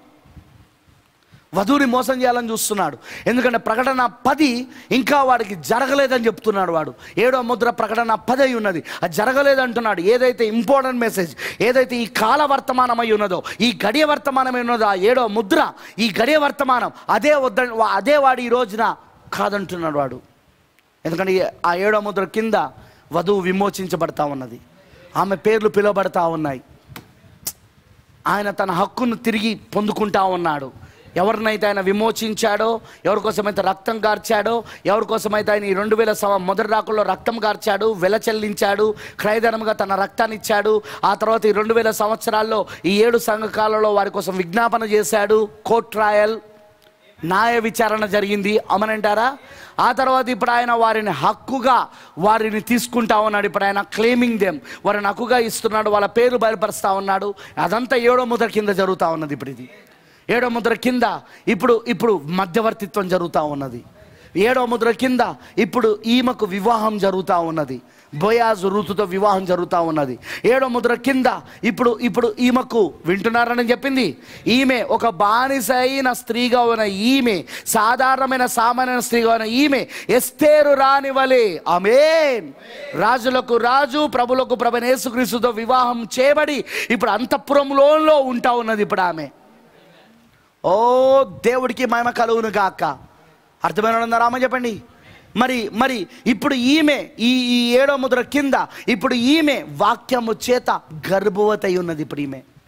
మొదటి రాకడలో ఆ దూత వర్తమానాన్ని కన్యక మరియా అక్కడ అంగీకరించినప్పుడు నీ మాట చొప్పున నీ దాసురాలకి కానిమ్ము అని ఆమె తన హృదయం అనే గర్భాన్ని తన యొక్క శరీరం అనే గర్భాన్ని తెరిచినప్పుడు పరిశుద్ధాత్మ వాక్యం ఆమెలోనికి వెళ్ళి రక్త మాంసములయ్యి శరీరధారైనట్టుగా ఇప్పుడు కూడా ఈ కన్యక మరియ ఈ సమయంలో ప్రకటన పదిలో వస్తున్న దూత యొక్క వర్తమానాన్ని అంగీకరిస్తూ నీ దాసురాలకి నీ మాట చొప్పున జరుగునుగాక అని అన్నప్పుడు ఆమె హృదయం అనే గర్భం తెరబడినప్పుడు అది ఆ వాక్యం వచ్చి ఆమె లోపట ఇప్పుడు శరీరధార అవుతున్న రక్త మాంసములు అవుతున్నది ఇప్పుడు ఆ వాక్యము గర్భవతిగా ఉన్నది. ఇప్పుడు ఆమె పలకబడిన మాట అనే కుమారుణ్ణి ఆమె కనబోతున్నది. ఇవన్నీ ఇప్పుడు జరుగుతున్న పరిచర్య. This is all seventh seal ministry ఏడవ ముద్ర యొక్క పరిచర్య. ఏడవ ముద్ర తెరబడలేదంటే వీడికి పరిచర్యనే జరుగుతలేదు. అంటే ఒక సంఘశాఖ. ఒక బ్యాప్టిస్ట్ వాడు వాడు ఒక పెంతకోస్తుడు వాడు ఒక ఒక ఒక ఒక వాడు అనమాట అందుకే అలా మాట్లాడుతున్నాడు అతను. ఏడో ముద్ర తెరబడలేదు అని. కానీ ఏడో ముద్ర కింద ఇన్ని కార్యాలు జరుగుతూ ఉన్నది. ఎందుకంటే ఇదంతా దేవుడు తన మనసులో పెట్టుకున్న రహస్యం ఇది. ఈ ఏడో ముద్ర ఈ మ- మనసులో పెట్టుకున్న క్షమించండి. ఆ రహస్యాన్ని ఇప్పుడు ఆయన ఛాయలలో నీడలలో చూపించుకుంటూ వచ్చిన వాటిని. పాత నిబంధనలో వాటిని ఛాయలలో నీడలో చూపించాడు. ఇప్పుడు ఆ ముద్రలు తెరవబడడం వలన ఆ ఏడో ముద్రలో ముద్రలు తెరవబడడం వలన ఇప్పుడు మనకు ఆ ఆ ఛాయలు ఆ నీడలు అర్థమే కాకుండా ఆ రహస్యం ఏంటో కూడా మనకి ఇప్పుడు అర్థమవుతా ఉన్నది. దేవునికి మహిమ కలువును కాక ఆల్ దీస్ థింగ్స్ ఏడో ముద్ర కింద జరుగుతూ ఉన్నాయి.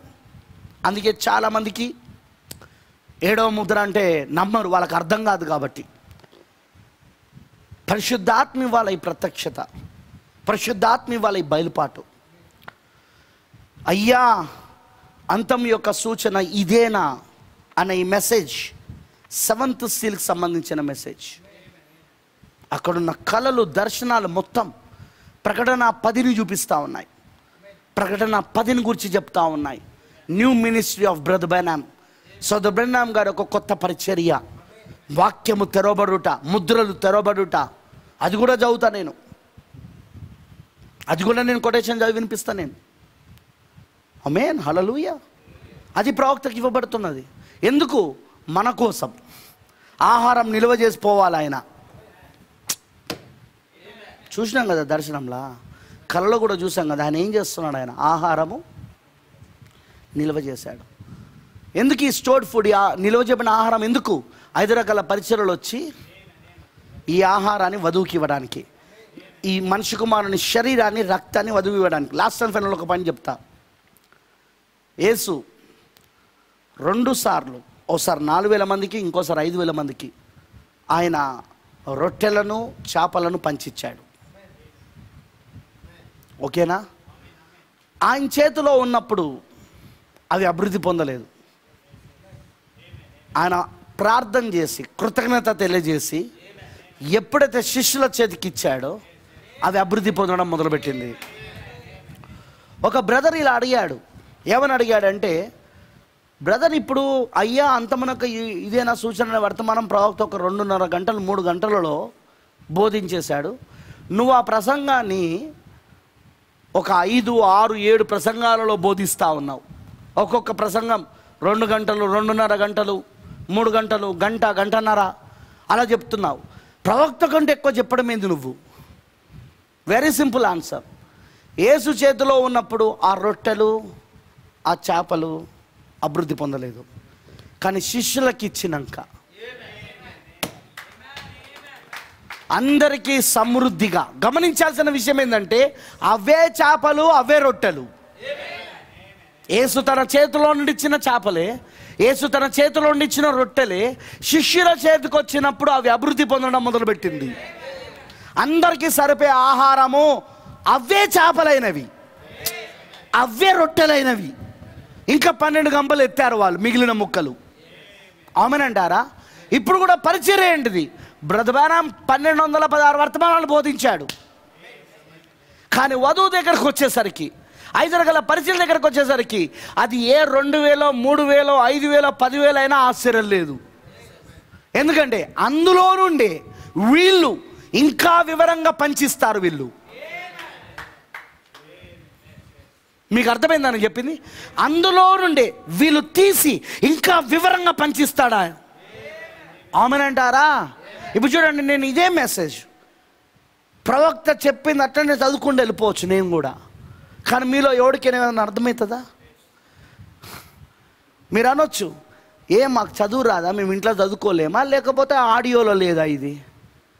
ఆడియోలో మేము వినలేము. ఒకవేళ చదువు లేకపోతే ఆడియోలో వింటాం. తర్జుమా చేయబడింది తెలుగులా? ఒకవేళ మాకు చదువు వస్తే పుస్తకం ఉంది కదా చదువుకుంటాం. దానికోసం చర్చకు రావడం ఎందుకు? పాస్టర్ పాస్టర్ నిలబడి పేజ్ ఒకటి నుండి పేజ్ ముప్పై దాకా చదవడం ఎందుకు? మీకు అర్థమైందని అన్నది? ఏసు చేతిలో ఉన్నప్పుడు అవి అభివృద్ధి పొందలేదు. కానీ ఆయన కృతజ్ఞతలు తెలియజేసి ఆస్వాదించి ఇచ్చినప్పుడు శిష్యుల చేతికి వచ్చినప్పుడు అవి నాలుగు వేల మందికి వింటున్నారా? పురుషులకు సరిపోయినాయి. ఇంకో దగ్గర ఐదు వేల మందికి. అవునా కాదా? యాభై వేసి యాభై గుంపులుగా పెట్టాడు. అవునా లేదా? ఇంకా స్త్రీలను పిల్లలను లెక్కించలేదు అక్కడ. హలలుయా కానీ అది ఏమైంది అది? అభివృద్ధి పొందింది అక్కడ. అదే ఏసు చేతిలో నుండి వచ్చినాయి. వేరే పెట్టలేదు వీళ్ళు. బయట మార్కెట్లో కొనుక్కొచ్చి పెట్టలేదు వీళ్ళు. వీళ్ళు ఎక్కడో సెమినార్లో నేర్చుకొని వచ్చి పెట్టలేదు వీళ్ళు. వీళ్ళు ఎక్కడో సంఘశాఖలో కొనుక్కొని వచ్చి పెట్టలేదు వీళ్ళు. వేరే ఎవడో సంస్థ చెప్పిన వాటిని తీసుకొచ్చి బోధించలేదు వీళ్ళు. ఆమెనంటారా? ఏసు చెప్పిన వాటిలో నుండే. హళలుయా దేవుడికి మమకలను కాక అదే ఏసు చెప్పింది నేను మీకు సత్యమును చెప్పి తిని కానీ ఇదిగో ఆదరణకర్త వచ్చినప్పుడు సత్యస్వరూపి ఆత్మ వచ్చినప్పుడు మిమ్మల్ని సర్వసత్యంలోనికి నడిపిస్తాడు. దాని అర్థమేంటిది? అదే కార్యాలను పరిశుద్ధాత్మ తీసి ఇంకా విడమరిచి ఇంకా విరిచి ఇంకా అందరికి అర్థమయ్యే విధముగా ఆహారాన్ని వడ్డిస్తాడు ఆయన. నేను చెప్పిన సంగతిలో నుండే పరిశుద్ధాత్మ తీసుకుంటాడన్నాడు ఆయన. ఆదరణకర్త సత్యస్వరూపి ఆత్మను నేను పంపుతాను. నేను చెప్పిన సంగతుల్లోనే తీసుకుంటాడు. కానీ మిమ్మల్ని సర్వసత్యంలోకి నడిపిస్తాడు. అంటే అర్థమేంటిది ఇప్పుడు? ఇంకా వివరంగా. మీకు అర్థమైందా? చూడండి ఇప్పుడు. యేసు చెప్పిన బోధ నీకు మత్తే మార్కులు యోహాను స్వార్థలు కనబడతాయి. కానీ ఆ బోధలో నుండి పౌలు గారు పదిహేడు పత్రికలు రాశాడు. పేతురు రెండు పత్రికలు రాశాడు. యోహాను మూడు పత్రికలు రాశాడు. వింటున్నారా? ఎన్ని విషయాలు రాశారు వాళ్ళు? ఏసు చెప్పిన బోధలో నుండే. ఎందుకు? అభివృద్ధి పొందింది ఇప్పుడు. ఆ వాక్యం ఇంకా స్పష్టంగా వచ్చింది ఇప్పుడు. ఆమెనంటారా? మీకు అర్థమైందని చెప్పింది? సో అందుకే ఇప్పుడు చూడండి అయ్యా అంతం యొక్క సూచన ఇదేనా అనే వర్తమానాన్ని మనం పారాగ్రాఫ్తో సహా చదువుతున్నాం. కానీ ఆ పారాగ్రాఫ్స్లో ప్రతి పారాగ్రాఫ్లో మనం ప్రతి దానిని జాగ్రత్తగా గమనిస్తూ వివరించుకుంటున్నాం. ఎందుకు? అది ఐదు రకాల పరిచయం దగ్గరకు వచ్చినప్పుడు అది విరిచి ఇంకా ఎక్కువగా పంచిపెట్టబడతా ఉన్నది. అందరికీ సమృద్ధిగా ఆహారం అందుతా ఉన్నది అక్కడ. ఇచ్చిందెవరు? ఏసే. ఇచ్చిందెవరు? ప్రవక్త బ్రహ్నాం గారే. ఈ వర్తమానం బోధించిందెవరు? ఏడవ దూతనే. కానీ ఆహారము ఇప్పుడు ఐదు రకాల పరిచయం దగ్గరకు వచ్చినప్పుడు ఏం జరుగుతూ ఉంది?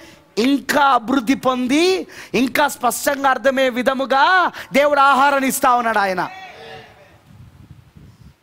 ఈ శిష్యులు అందుకే యేసు చెప్పిన వాటిని తీసుకొని అంత వివరించి చెప్పగలిగారు.